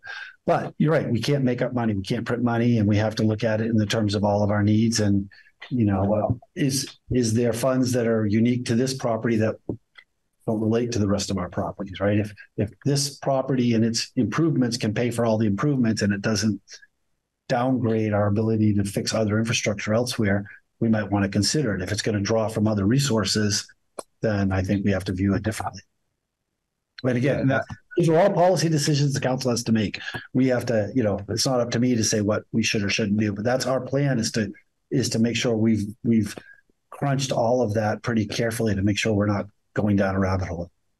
And uh, another quick question. Um, I believe we're close to our bonding capacity. Am I correct, Bill? No, um, not to not to set you wrong. Uh, we have there's a bonding capacity and a bonding policy, a debt policy. So the statewide legal bonding capacity, the city has um, a whole lot of room. Um, that so we're not anywhere close to our legal bonding capacity. We have a city council imposed debt policy that we are near the, the top two.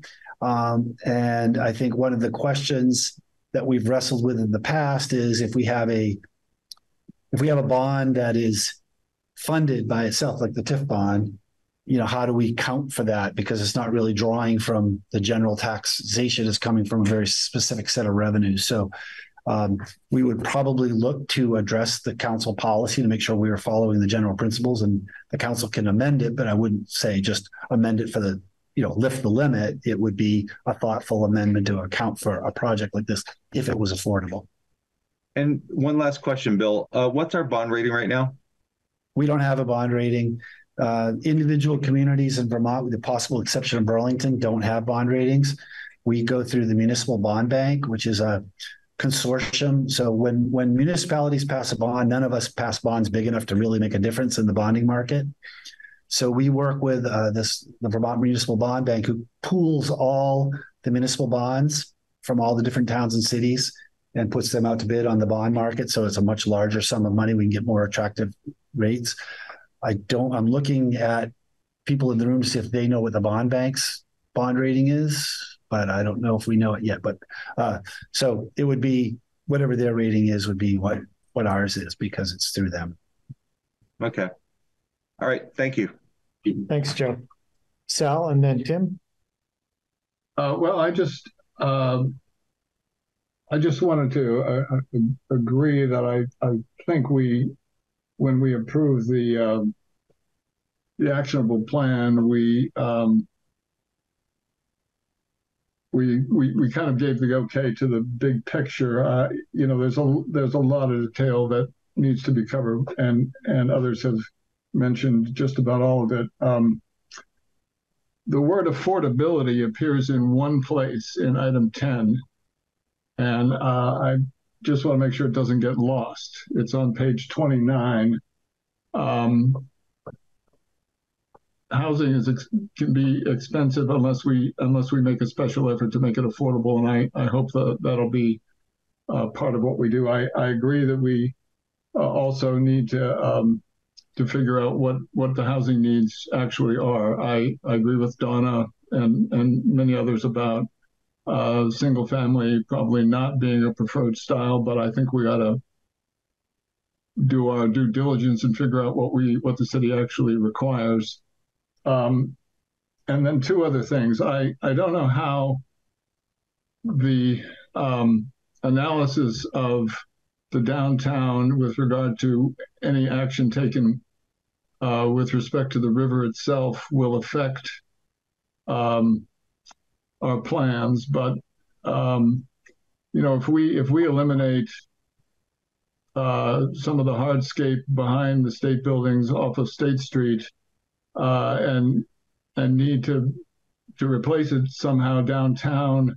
Um, you know, those are decisions that are going to coincide with what we're doing here. And so we're, we're really undertaking, uh, not by choice, but by necessity, two fairly large uh, projects at once. And I'm, I'm wondering then, my, my second concern is what the um, feedback process will be, will be. Bill, you mentioned that there'd be a lot of coming back to the council with progress reports, and I just wonder if that's something that uh, you've thought about in uh, as how that process would actually work.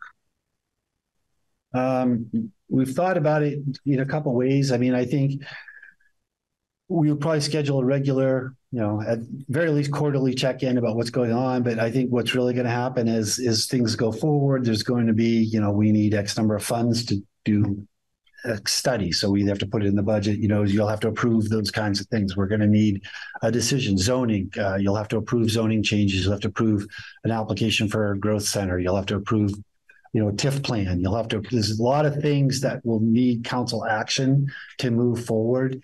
Uh, and I think um, it, it behooves city staff and the community for us to be doing it in concert with the public officials is as much as possible when there are key decisions to be made. It's not, not our place to, you know, to make them for you. It's our place to try to help you achieve what what you want to accomplish. And, you know, if that's this, then that's what we're going to try to do, or something like this but we're also going to come to you if there's a change to this. You know, maybe we do a housing study and it says the only thing that can sell is single family homes. You know, you should you need to know that, and then you can make a decision that says doesn't matter. We're still going to go ahead with what we go, but you know, it's we have to provide you the information so you can make informed decisions along along the way. I mean, this is a big project. We're going to be at it for a little while, and so you you know we'll be we'll be coming back a lot. I would imagine. Yeah. So I think kind of back to where Cary started with the first comments, it's kind of if we're looking big picture. And I think the guidance that I think you're seeking is going to be how do we break this property? I've been clear that I don't like the plan Whitenberg came up with. And even with the three plans, they said it was really one plan with three options. I don't think they were very imaginative, regardless. I think what we need to do is designate a housing portion. Um, we have to, I hopefully will make a decision, and maybe you don't agree with me, but to not position ourselves as the developer, get ourselves out of this place. And everything we're saying tonight still sounds like we're the developer. And that isn't, it's a black hole for us. I don't think we're equipped to do it. We have no experience with this. And it's a really challenging project. I mean, this is like a teenager wants a motorcycle, and the first thing you give them is a high performance Ducati. You know, this is a this isn't the place to start when you want to do your first project. And to be able to produce housing that's affordable um, with the kind of overhead and infrastructure needs for this project is more than a challenge. So I think something to be aware of. I think we've got to take the steps Bill just went through, you know, set it up, get the TIF, get all the right pieces in line, um, designate a housing portion, and then we can focus on the recreation pieces and the other issues that we need to develop as a community. And we can get back to our water system and our sewer system and our streets and our other priorities too. Uh, but I, I, I don't think the, the track we're on where we're talking like we're going to do this, at least in my opinion, is the right way to go. And, you know, I, I would say um, to that, um, first of all, I get it. We aren't real estate developers and not, I don't think we want to be. Um, you know, one of the action steps is to identify partners. And I think that's one of that's where the city can, you know, we can because we own the land, because we can leverage infrastructure money through the various public processes, we can we can do some of what a developer might do without necessarily actually laying out selling houses do you know we can work in partnership to help create the kind of thing but i really agree with you. Um you know i i i don't want to be in the real estate business. Wow um, but we also own the property so we can kind of say this is what we'd like to see and maybe put out our rfps to developers and say this is our goal and they would come back and say either that's feasible or that isn't, or here's, you know, but I mean, we, it's not just a zoning process. It's, it's, again, it's the land ownership. This is, we would like to sell or lease or give you the land, whatever it looks like to get this result. You tell us, you know, and have people come in and say, I can do 10 units like that, or I can do 200, you know, I, I agree with you. We shouldn't be the ones putting up the houses, but we can put up the, the means of getting the houses in partnership. one person's view. Um, Pelin, then Terry. Uh, so, is there any way to find out what will be the cost for city, just like building this by ourselves or giving this to a private development companies? I hope I'm using the right word. Uh, so, can we learn like do can we have a chance to compare the cost for the city and res- for its residents? Then maybe it will be easier for us to decide oh we want to build we want to do this or we can just tell the details what we want to see and someone else can build this for us. I think uh, yeah budget will be a very important item to decide which way we want to go like the less expensive right Oh, I, I think, I think there is a way to do that. We'd have to think about how we position that and it was something we'd probably come back and talk to you about. I don't, right off the top of my head, I think we could, I think there's a way we could do that, like say, I don't know, let, me get back to you on that. I want to, but I do think we can come up with some different alternatives about. Okay. I mean, we could probably estimate, let's put it this way, we could probably estimate what it would cost to build all the infrastructure. I don't think we'd be building the housing, Mhm. but roads, the water, sewer, and all that stuff, public stuff. Mhm. And then, so then the question would be, is what, if, let's say we did that, what's the return from the taxable value and, or could we then get developers to invest, you know, pay back for some of that infrastructure? Or do we say, we, we have an estimate of the cost, we go to developers and say, this is what we want to see done.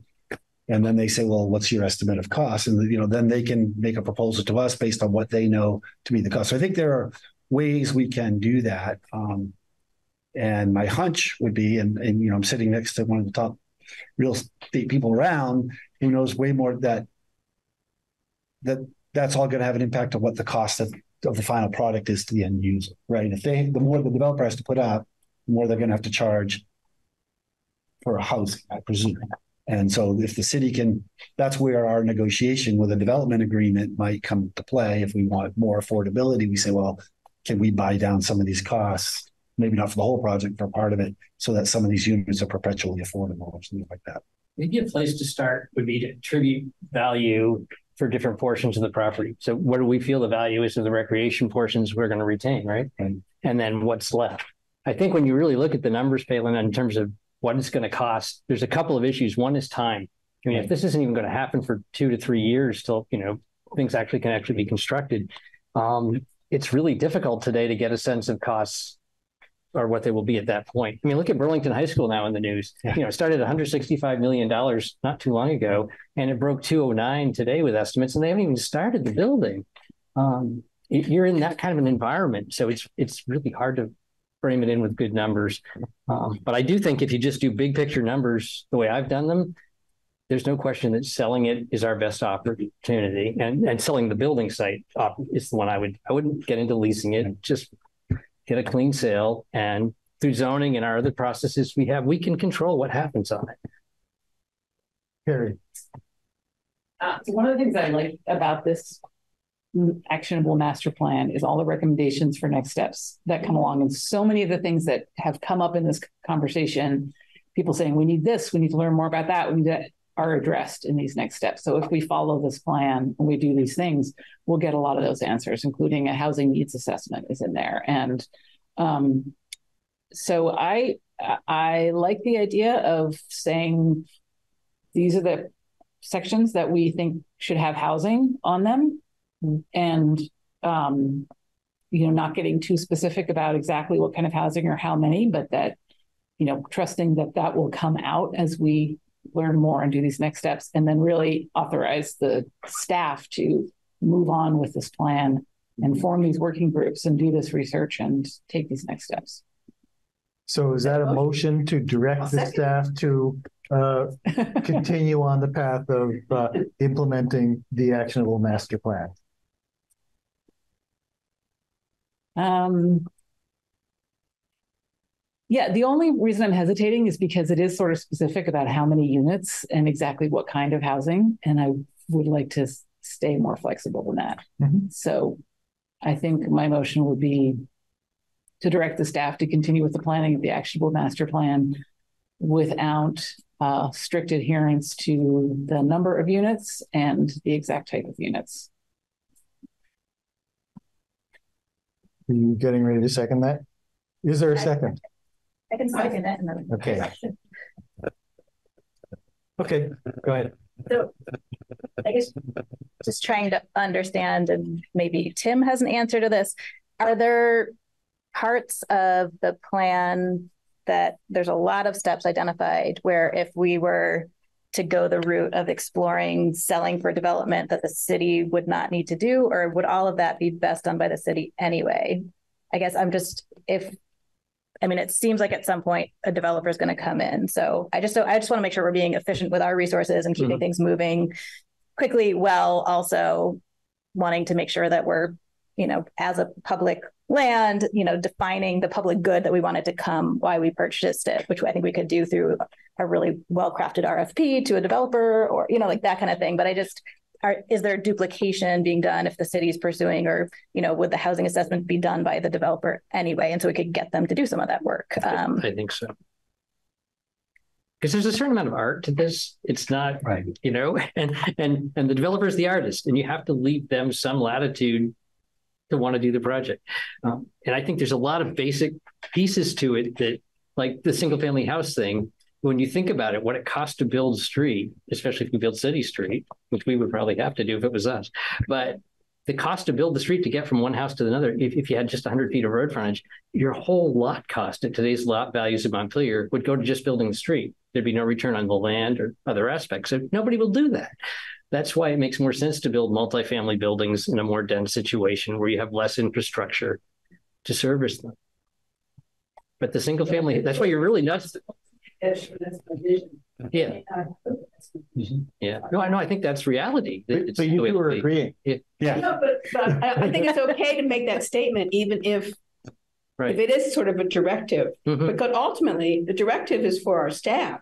And then once we bring in, whether that's a nonprofit housing person, another developer, mm-hmm. then that's a partnership and they're going to apply their expertise to it. Exactly. We're going to learn a whole bunch more. Mm-hmm. But when I read the tier one, two, three action plan on 106, it seems to me that those are all applicable without limiting any specific vision. We need to do those things. So, and that's why I supported the first and second motion there that Cary made, because I think it's there. I think we just need to give the, the staff the green light to do it. And as they come back, we consider everything that they bring back to us. And, and Tim, the way you're I don't see the conversation the same way you're seeing it. I don't see the conversation as being everybody thinking the city's going to be the developer. I think the conversation is mostly about what we would like to see on this land and who's going to develop it. Probably not going to be the city. We don't, you know, we've had, uh, well, you know, the city has a, history of funding or partially funding other housing projects around the city, mostly downtown, and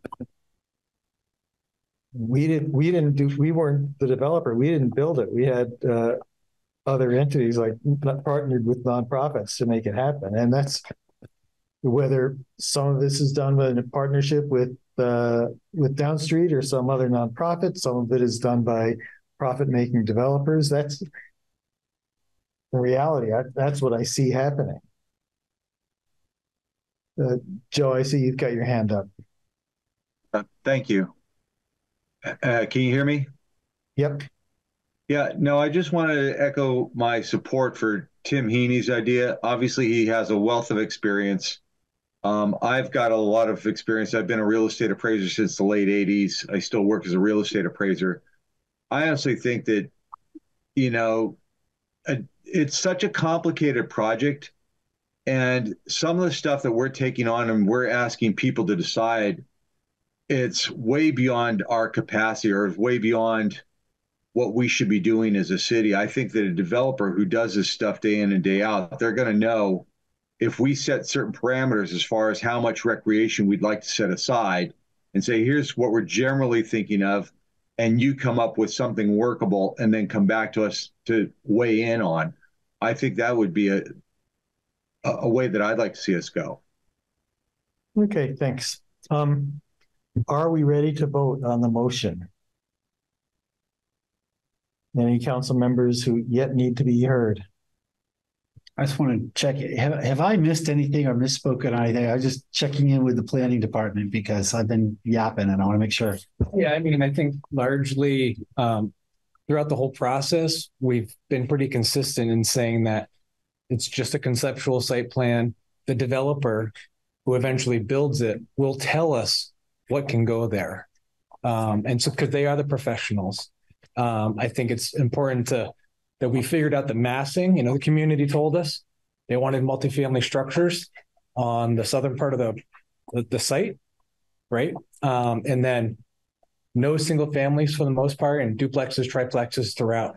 So I think, you know, thinking about first phase multifamily structures, when we go and do that RFP to developers, we'll we will end up saying like, this is what we've done through our master planning process. This is the lot that we have that you, that you might have access to.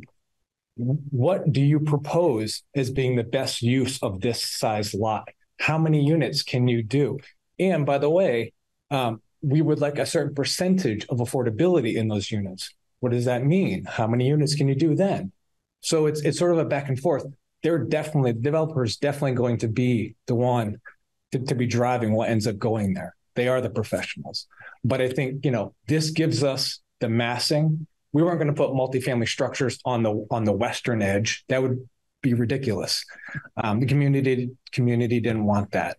So with this, it gives us a, a guide um, and with FEMA's help, the infrastructure cost is reduced for that first phase of development, uh, which will then bring the actual investment for the city extremely low on a per unit basis, uh, which might then mean the rest of the development looks a little bit better financially to have more conversations about it. So I, I just would reiterate those points. So I think you're all, all you're all correct in that the developer should be the one deciding what goes there. And that has been our intention all, all along. Thanks, Josh. Yeah. Uh, Sal. Well, I'm just wondering if, um, I mean, Jim, you mentioned that you you don't, you know, you didn't like White and Burke's plan that we should really just be defining where housing goes and where recreation goes. And if you if you take away all the little orange rectangles, that's what Plan A does, isn't it? I mean, what what are you um, are are you saying that? Uh, I mean, it seems to me the developer ought to decide where multifamily makes sense and and you know should where there should be or should not be townhouses and so on. Um, and as I understand it, that that would still be possible if we were to proceed with this actionable plan. Does do you not do you not agree with that? Yeah, it's possible. I mean, this layout wasn't set up for phasing as well as some other earlier options. Um, but White and Burke or the committee, whoever came up with this last version, went with this. I, you know, it seemed like if we were going to end up with potentially more than one developer to partner with, this isn't the best layout to be able to break it up and say, okay, Downstreet, this is your section, and we'll sell you this piece, and I don't know, whoever, Farrell, Redstone, somebody else, this, you know, you'll do this here. This doesn't make that as easy, but those are still conversations we can have because this isn't set in concrete. Mm-hmm. Right. Yeah, I think the the phasing is is mentioned as an item that you know needs to be settled. That it, that it isn't it isn't settled yet. You know, it's part of, it's part of this next step. Um, Okay, let's vote. Oh, uh, sorry, Lauren. No, just it, it's come up a little bit, but just underscoring. I know that you're very aware, but just want to make sure that we are front loading the conversations about potential state dollars or federal state dollars that could go to this because I mean there's some pretty tight timelines on when money needs to be committed for um, ARPA funds and other things where there was housing money set aside in significant ways. So, like, if there's things that we need to be doing or that we'd be able to take advantage of if we did it in certain ways or moved on certain timelines and stuff, like, obviously, just it, I would love for us to be taking as much advantage of um, state federal funds as we can. So like it's I see on tier two is the exploratory conversations. Like, I mean, I think I assume soon we're talking to VHCB, we're talking about like the other people that have been getting that money and like how do we make this work to take as much advantage as possible. Um, so that might bump it in the order to higher to make sure that we're doing the other steps in a way to maximize that. Great point. I mean, one last point before we go. This is not contrary to anything else, but I do want to say out loud that I, I think I agree with it all, everything, and that we have a lot of flexibility. I will say that we have may have already set the stage for the multi-family housing at the beginning with the FEMA decision. I just want to sort of say that out loud that because of the, the clustering of the things and the idea that we might build, work with Downstreet or someone to build a building that I, I just want to make sure that we've acknowledged that we voted and that later on when this comes to happen, no one says, hey, we hadn't decided that that was a multifamily area. So I just, clarity is kind. Right. Uh, great point to make. No, everybody's eyes are open. All right, are we ready to vote? Can you state the motion I have strangely written last year, which I think was a horrible misspelling of planning. So um, this may be off by a word, but to direct staff to continue the planning of the actionable master plan without strict adherence to the number of units and the exact nature of units. Yeah. Is that right? So that must be planning. It looks like packing on my word, but I'm going to change that now. Okay. All those in favor signify by saying aye. Aye. Any opposed? All right. Thank Great. you. That's very uh, helpful. That's very good to have that part done. And it is now time for our break. 10 minutes, which gets us to about 8:35. Okay, um, I think we're all back. You're welcome. I, again, I apologize for last time, but uh, all right.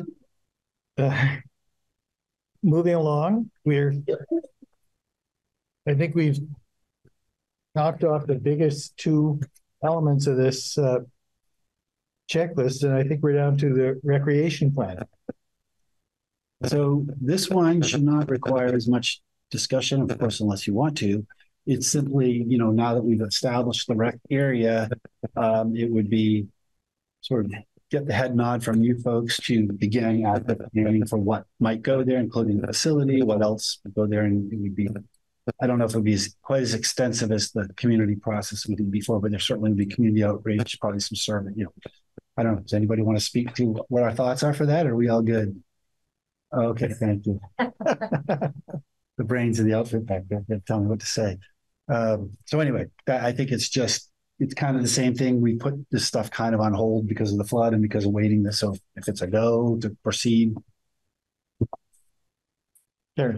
Okay, so I'm, I'm taking what it says in your memo at its word, which is this item will be on a future oh, agenda. there you go, even better. And no staff recommendation and no action needed until future agenda. And so what I, Well- what I'm reading here, it sounds like there's some planning and studying going on. Yep. And we don't know what the outcome of that is yet.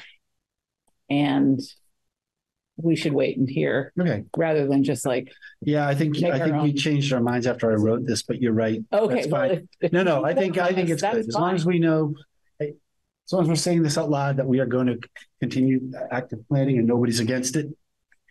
We've covered that agenda. It's it's on the list and beautiful. Mhm. Great. And Donna, your camera's still off, by the way. Your camera's still off. Your camera. Your camera on your laptop? Oh. Hey, Um, beautiful. That was easy. Wish they were all like. Oh, okay.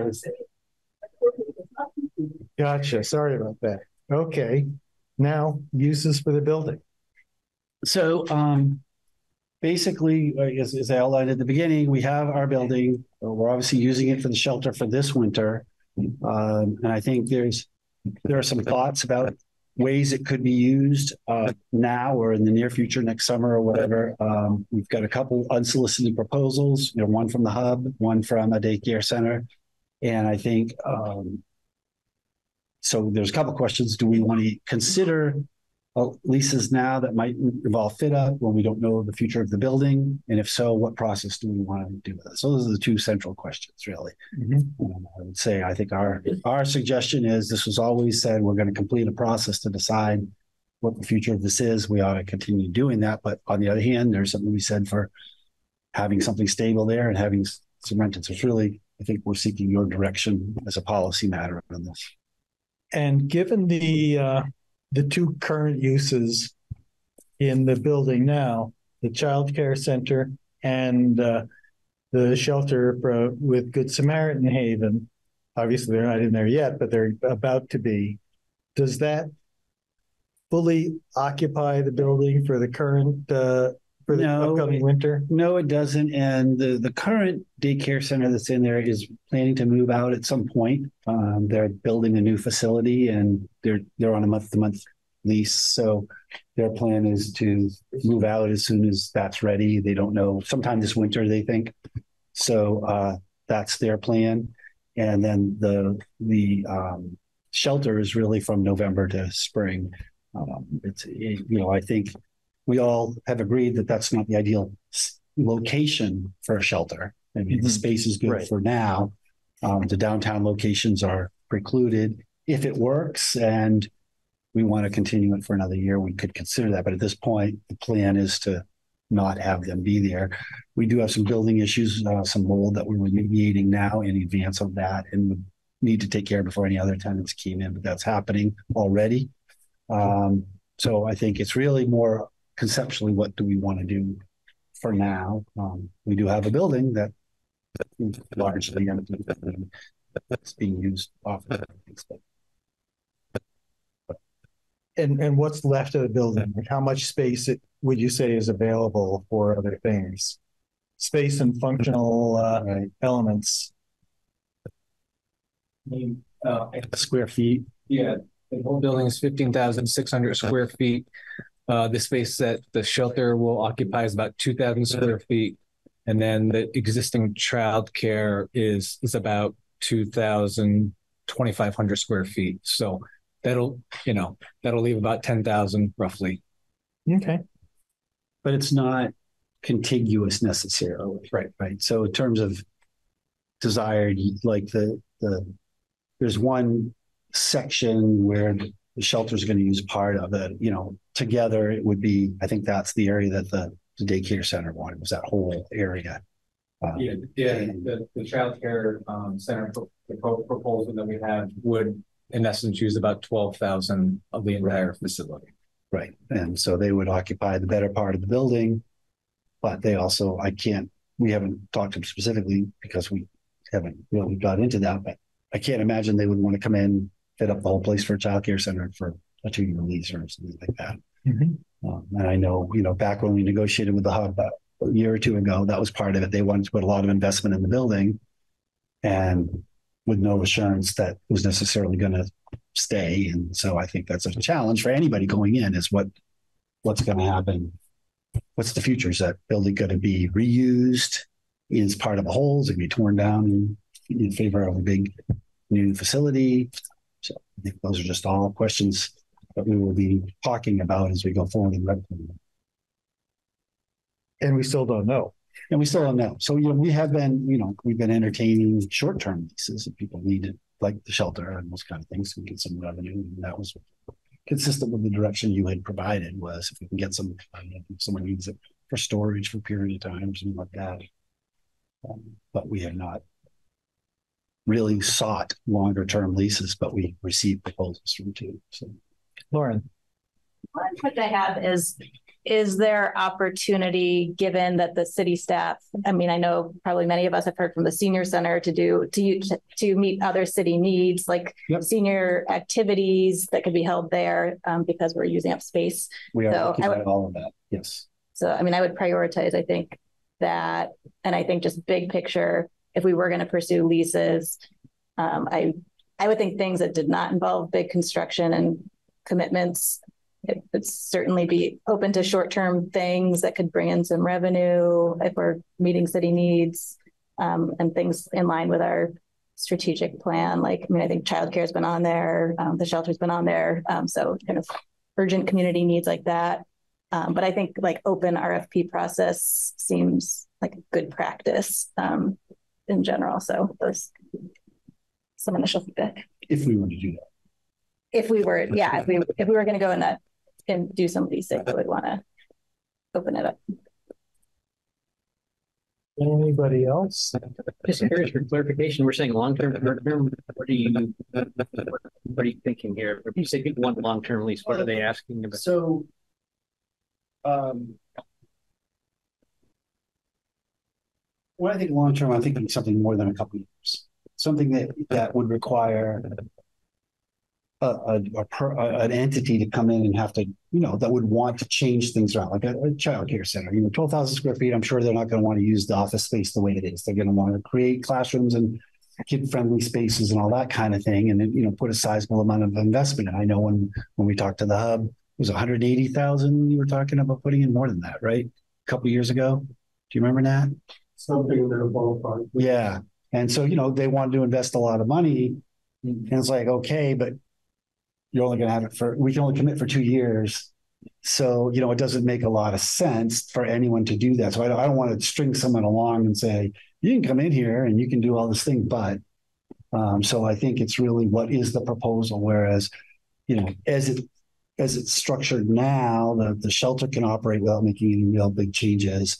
We can use space um, for senior activities without making big changes, um, and those kind of things. So I think that's, you know, it, it, so I think if we were to say yes, we're going to open it up for these proposals, then I think what we would be saying is, you know, for an extended period of time, we're not doing anything with that building. We're going to lease it for ten years or twelve years, or you know, whatever, mm-hmm. and we're leaving it as is with whatever goes in there and so it would be, I think that's the policy direction we're seeking. You know, the, the prior direction had been short-term leases only, wait until the end of the process.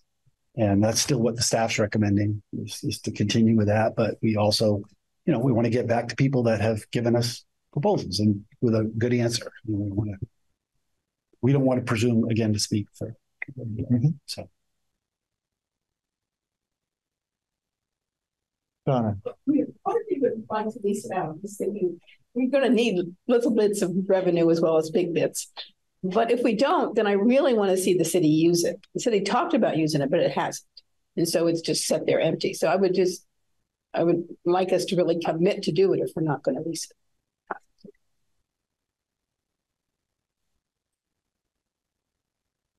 So that, uh, Cary.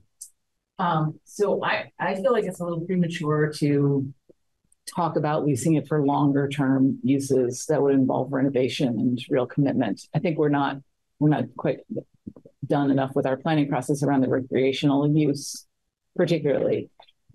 I am interested in shorter term things, and I'm also interested in the city using it. Um, and if there were, you know, um, a child care program that wanted to occupy the current child care program space. So it didn't involve a lot of renovation and they and they were willing to do a two-year lease or something right. like that. Then um, if we are going to consider though issuing leases like that, then we got to go through a public process. There's got to be bids and and great. Yeah. And then I hope we soon get to the point where we can entertain proposals for the longer term right. renovate the building. But I don't think we're quite there yet. No, because again, depending, I mean, the building has some positives, but also has some negatives. And, you know, it might be that the better use of that space would be to take that building down, build a new center, maybe with housing on top, or, you know, we want great things, then, you know, so we can't rule that out. So Hmm. it's interesting because the Black River report, Black River Design Report, sounds like it's they assess as being a good solid building. It is, but, but not necessarily one that's compatible with probably what we want for our recreation. That's the same. Mm-hmm. And so the question is, you know, we could try to figure out a way to incorporate it in, you know, but I think we're not there yet. That's yeah. the um, I think we all got a letter from Gene Olson you know, about the senior center and having the office staff there. So it, has that been a consideration as you look at it, is whether or not some of the staff that isn't able yet to move back where they were being located at? We're looking at all those options. Um, you know, and or and or holding some of the senior programs there where there's parking and those kind of things and people can come. Those are definitely all on the table. Um, yeah. Anybody else have anything to say about this? I think this is where we are. We, I don't think we need to have a motion or a vote, but that's a snapshot of what people are thinking. I mean, that was the council policy before, so as long as we're not changing it, I guess, then that's fine. Nat, you came out for this. Did you want to be heard on this? Or are you mostly listening? No, I'll wait for that report that you're waiting for, for the recreation discussion. Okay, great. Use the uh, anticipated time frame on that. This is the same uh, twenty thousand dollars study that the council approved. Correct. So we we have a draft report. We're expecting to finalize it shortly, um, and that really is assessing an actual facility, what different sizes, what kind of revenues it might generate, what operating costs it might have. It's not really talking about the whole, but it would inform at least that part of the conversation. And we had a lot of questions about it, so we're seeking clarification from them before they get a final report. So. Okay. Moving on to the last part of this item, the use of the land during the project uh, process. Yeah, from now on. from now on, well, yeah, starting now, while the project's being developed, and then who knows what happens after. Yeah, I think, and with so again, just to tee that up, you know, obviously we had that request. You know, we've been pretty much hands off on the use of that project. Uh, we've you know had the the rec facilities, the, the, the fields being used. There's been skiing, there's been walking. It's it's really had been great multi-use area. Actually, a lot of people walking dogs. Uh, but with you know, there's we council has approved hunt, hunting. I think with a residential project coming in probably rather quickly. Um, the combination of that plus being caught by surprise by what on in theory sounded okay, cool, the concert in this big open space, but when you're sort of thinking about the roads and the facilities and the bathrooms and all those kind of things, it really didn't make sense. And so I, it, it caused us to think we should probably have a discussion with council about what you think are sort of good uses. It doesn't have to be an all-inclusive list, but just get and then we'll draft a policy and a procedure if people want to do something out of the norm or ask for permission or whatever, you know, because we're not going to think of everything. Someone's going to come up with a great idea. And, um, but just thought, you, you know, we had nothing in place when they came to ask us about the concert to say, here's a basis for granting this or not granting it or anything else. And so we should, we should be prepared for that. And we've heard from the cross country ski coaches saying, hey, what about us? Yep. Yep. And we are setting up a meeting with them to look at, you know, I mean, if there's uh, how they could reroute their trails, their course, you know, around the FEMA area. And, you know, the rest of it's still going to be open. And so I think I think there's a lot of land there. How quickly things get established. um, it's ours. No, I, but that's okay. I mean, it's, it's glad to have, you know, it's given. It's great that it's getting four season use. And, uh, and they were very amenable to it. They just wanted to make sure they knew what areas were. Yeah. So I think it'll be come out fine. So. So, Mr. Donna, oh, go ahead, Tim. This is just what do you all think would be? Is it us or should it be like Parks Commission or someone? In- all of the above. I think what we, we're just trying to get a sense of what you think are in and out. We'll run it past the Parks Commission. We'll, you know, rec folks, and then we'll come back and say, here's a recommendation. We just want to start the conversation. If you don't want to have it here, that's fine. We just wanted to make sure you were aware this was happening and get your thoughts on it. Uh, so, so open-ended question, not one with a mm-hmm. action required. So, Donna. The ski team and probably the running cross country team, they also use that land. And they have never had any conflict with the hunters that have been there. I don't know exactly even what the season is for hunting, sorry, how soon it starts. Um, but that's been going on and coexisting. But when we get all that construction going on, is that going to be more intrusive? Well, that and people living there, I think is a Yeah. big difference. And there is,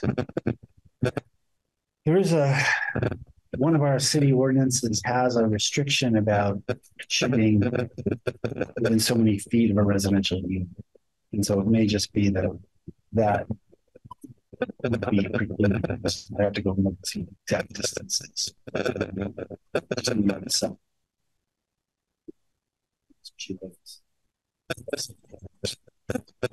So. We see the signs go up at the city limits every year. No rifle shooting, buckshot only. Buckshot only, yeah. We may be the only, Letterman did, Letterman was right. maybe, we may be the only capital city that has that uh, at their, at our city limits. Um, so what do you think? What? Go ahead, Karen. So I, I think we're probably in a pretty good, in a pretty good place already. Um, especially hearing that if there's an ordinance about not hunting within a certain number of feet of, of residences, then I think that's pretty well taken care of. So there may be parts of the property that people can still hunt on. And I don't, it, it- I haven't heard anything to make me think we shouldn't keep allowing that. We've been doing it. Yeah, so I think that's fine.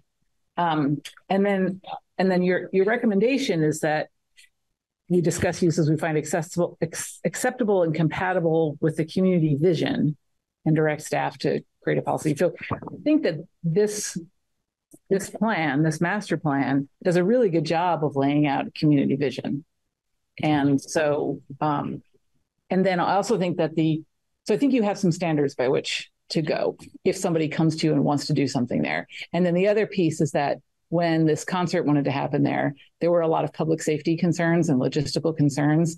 And that I think that's always a basis for the city to say, no, we can't do that because we don't have the structure to support that. And I think it worked. I mean, it may have been, may have felt confusing from the inside and, you know, we're not really sure what to do here, but the outcome worked. Right. And I think, you know, could the policy could just be something that, you know, as I'm thinking about what you're saying, I'm just reflecting. It could just be, we would consider certain events, but the city reserves the right to deny the event on basis of public saf- safety, mm-hmm. period. So, I mean, it's just, so that's already established. So we don't have to like come to the council and say, you know, is this okay? Or whatever, just say like, it's, you know, you have 50 people and you want to have a campfire and sing around the campfire. well, not a campfire, but you know what I mean? You want to have, that's okay. You want to have 5,000 people? No. Yeah. So, okay, uh, we'll, we'll put something together. Maybe that's the easiest. Give you something to react to. And I think, of, you know, public safety is one thing, uh, impact on the Property. on the property and on o- other users and people living there is another one. You know, since there will be people living there.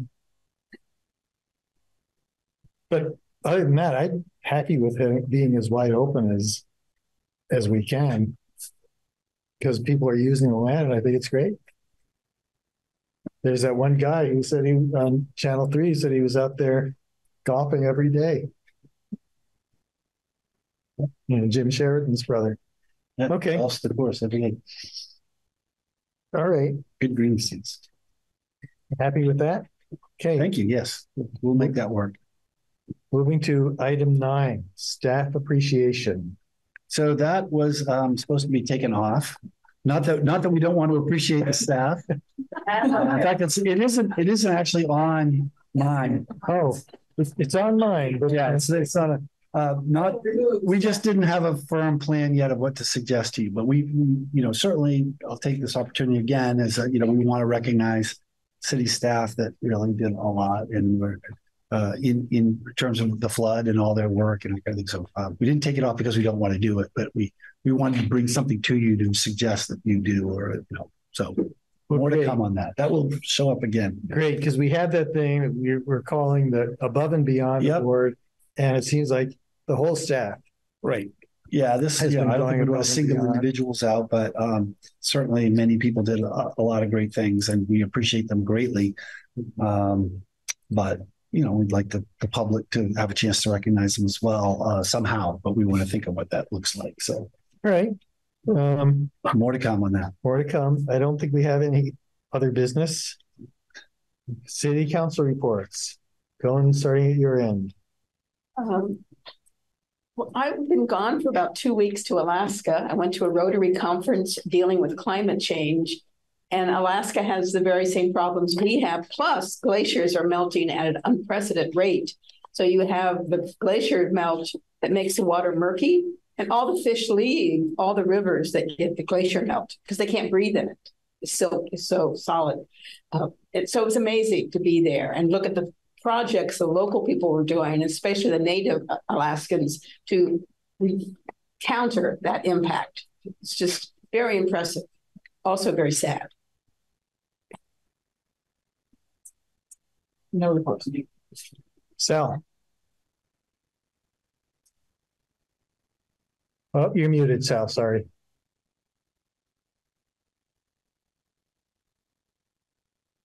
Still. Uh, There you go. I, I have no reports. So. Oh, Okay, very good. Thank you, Tim. Um, I guess just reporting, we're so happy to see stores opening downtown and um, the activity levels picking up and people have been coming in supporting them, which is really wonderful. Yep. More to come real soon. Uh, Pelin, No report for tonight. Lauren? Um, I just wanted to thank everyone for the ongoing participation in the resilience conversations. I mean, it was great to see yet again hundreds of people turn out uh, between online and in the building.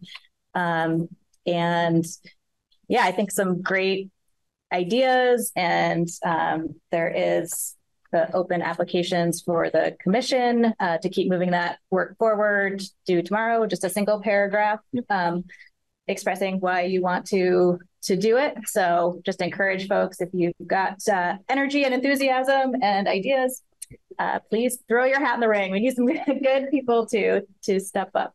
Can, can you um just say again how people can find that and how they can do that if they want to? Maybe If people are interested in, I can tell you the short answer. If you want to send in an application, you send it to our office to m smith at montpelier-vt.org. And it's basically, uh, this is why I want to help serve that. Um, I don't have the actual description of what it is, but it's basically to deal with the flood resilience, a commission to look at all the different uh, priority topics that uh, were raised through the process. But M Smith, that's Mary Smith, M Smith at montpelier-vt.org. And since I was going to say this for my bit, we have 12 applications so far received as of now. All right. All right, my report is pretty brief. I thank everybody for your uh, for coming out to these uh, to the community forums that we had. We had had a lot of uh, uh, enthusiasm, a lot of great ideas, and uh, I'm hoping that that energy continues. Please do. We we've started already with establishing the commission for the future, and I hope we get some very good applicants, and we've got a long way to go. And so this this this is really just the beginning, but uh, I'm glad I'm glad we are already uh, already rolling. And I think that's all. I also go go out and shop downtown. yes. Okay. Um, clerk's report. Yes, just a, a couple things. Um, I got the finally have the final number of um, the assessment appeals that the Board of Civil Authority will have to hear. It's 69. Now that's that's a big number. I'm hoping that a sizable chunk of those, even maybe almost a third, can be actually dealt with pretty quickly and easily. I'm hoping so. No promises. Um, our first meeting is going to be next week, the 21st, Thursday. They'll all be at the senior center. We may have to move between one or two different rooms, depending on whether it's the first um, first Thursday of the month, which is when the community jam likes to be in there. So um, there will be a little bit of musical accompaniment once a month, but um, we may have to be in a slightly smaller room to block it out. But it should be enough space to to accommodate us, so it shouldn't be a problem. These are not going to be hybrid meetings. That was the the the sort of majority of the group that they would be um, all in person meetings. So it's very important for not just for folks to to to come because we're down so much on the number of the Board of Civil Authority, and unless I hear otherwise from our attorney, the the uh, quorum is still going to be eight, um, due to a quirk of our charter, which I I regret um, not stepping in. State law. Under the state law, quorum is three, no matter For the BCA? for BCA, no matter what the size of the town, no matter anything. Interesting. Yeah, yeah. I As rem- for every other legal group, state law says it's a majority of the members, even if there's vacancies. Yeah, no, not not with not with this one. They had they had these problems in mind, and Yeah. Montpelier went their own way. but the problem is going to be then, just so you all know, and I don't want to drone on too long, but an initial hearing will happen. A uh, committee, uh, an inspection committee of three people will be made to that'll go out and inspect the property in question, come back and return a report, possibly a recommendation to the greater body. But then the only folks who can vote on that final decision are ones who were there initially and witnessed that first period when there was testimony. Now, it looks like we can record these things. So if you want to show up and vote, you can listen to the recording and do it That has way. been done. VLCT seem to be okay with that, but it is kind of complicated. And it does mean, you know, if you're going to come to one, at the very least, if you could try to plan to come back for the one where that inspection committee will be returning its report so that you can vote on that. But it's going to be tough. We're down so far on uh, the members of the Board of Civil Authority. The numbers are down so much. It's going to be really tough to get quorums for this, but we'll we'll slog through. Anyways, it sounds like a complicated process. Jack's been through it a million times. I've been through a couple smaller, just individual ones. Um, we'll make we'll make it all clear to you when you show up. If you don't know, it's sounds complicated. It's actually very straightforward, and they're going to they're going to get routine um, pretty quickly. And I want to jump in and mention, remind everybody here, if you're on the council, you are a member of the Board of Civil Authority. And the Board of Abatement.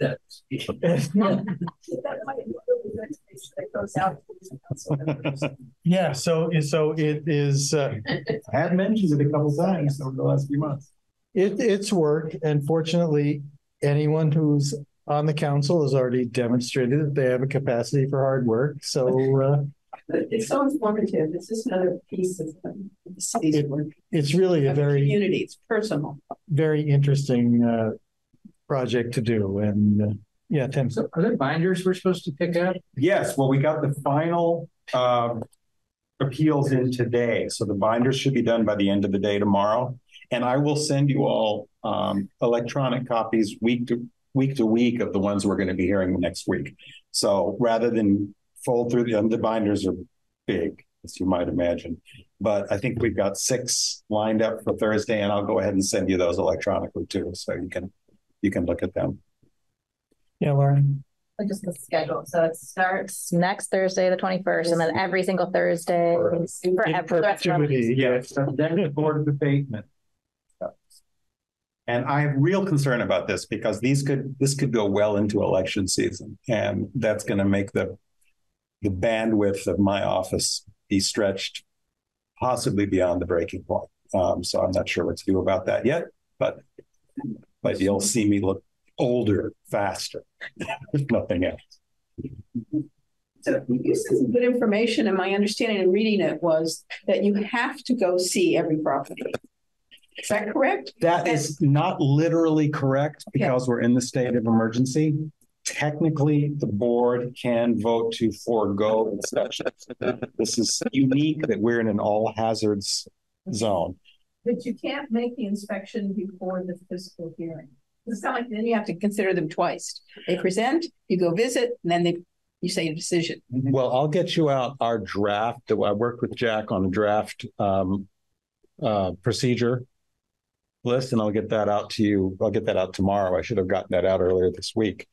And it lays out that the, you know, the real back and forth is in that first meeting. And then I guess there'll be an opportunity for folks to ask questions after the report is back, but it's not going to be starting the whole, you know, the, it's a quasi judicial hearing. So evidence is presented by one side, evidence is presented by the other. When the report comes back, there's usually an opportunity for a question or two, but there's no longer an opportunity to present new evidence or to make new arguments, just for clarification. If you're allowed the alternate decision to go visit before you actually take evidence, would that not reduce the amount of time of meetings? No, we do take the evidence before. The visit, the visit. Well, you know, the other way around? Inspect first. Um, that's not how the law sets it up. Okay, that's what I thought. And then you said something about emergency, you didn't have to. Okay. Oh, no, well, no, you, Okay. you asked if, if we needed to always have an inspection committee. And under the, the emergency declaration, we could theoretically just hear the evidence, say there's going to be no inspection committee and we're going to make a decision here and now. But if you do do it, then you have to do it after. Yeah. Okay. Because it's the hearing at which the inspection committee for each property is appointed. So we hear the evidence about, uh, you know, one Main Street or whatever and say, okay, who can, who can do this? Me, you and Cary will be the committee for that, for this property. And we'll make our arrangements for when we're going to go. Um, but I can tell you that I had a conversation with the attorney for one of the taxpayers who has a whole bunch of them.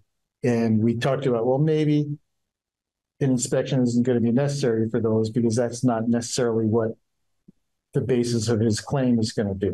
And so that could save us some time. And so one of the nights we're, we're taking up like all of those properties at once. I think a lot. Yeah, there may be another similar bunch. Pizza. We should do that, right? You, we usually do, at a minimum, we usually do that at the last meeting. So, yeah.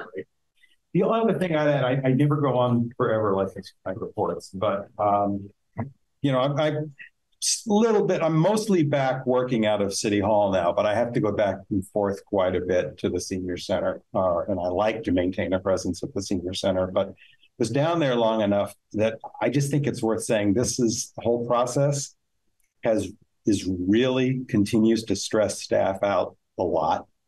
Um, it's it's it's hard on them, but everybody is working so hard and they're keeping their their chins up.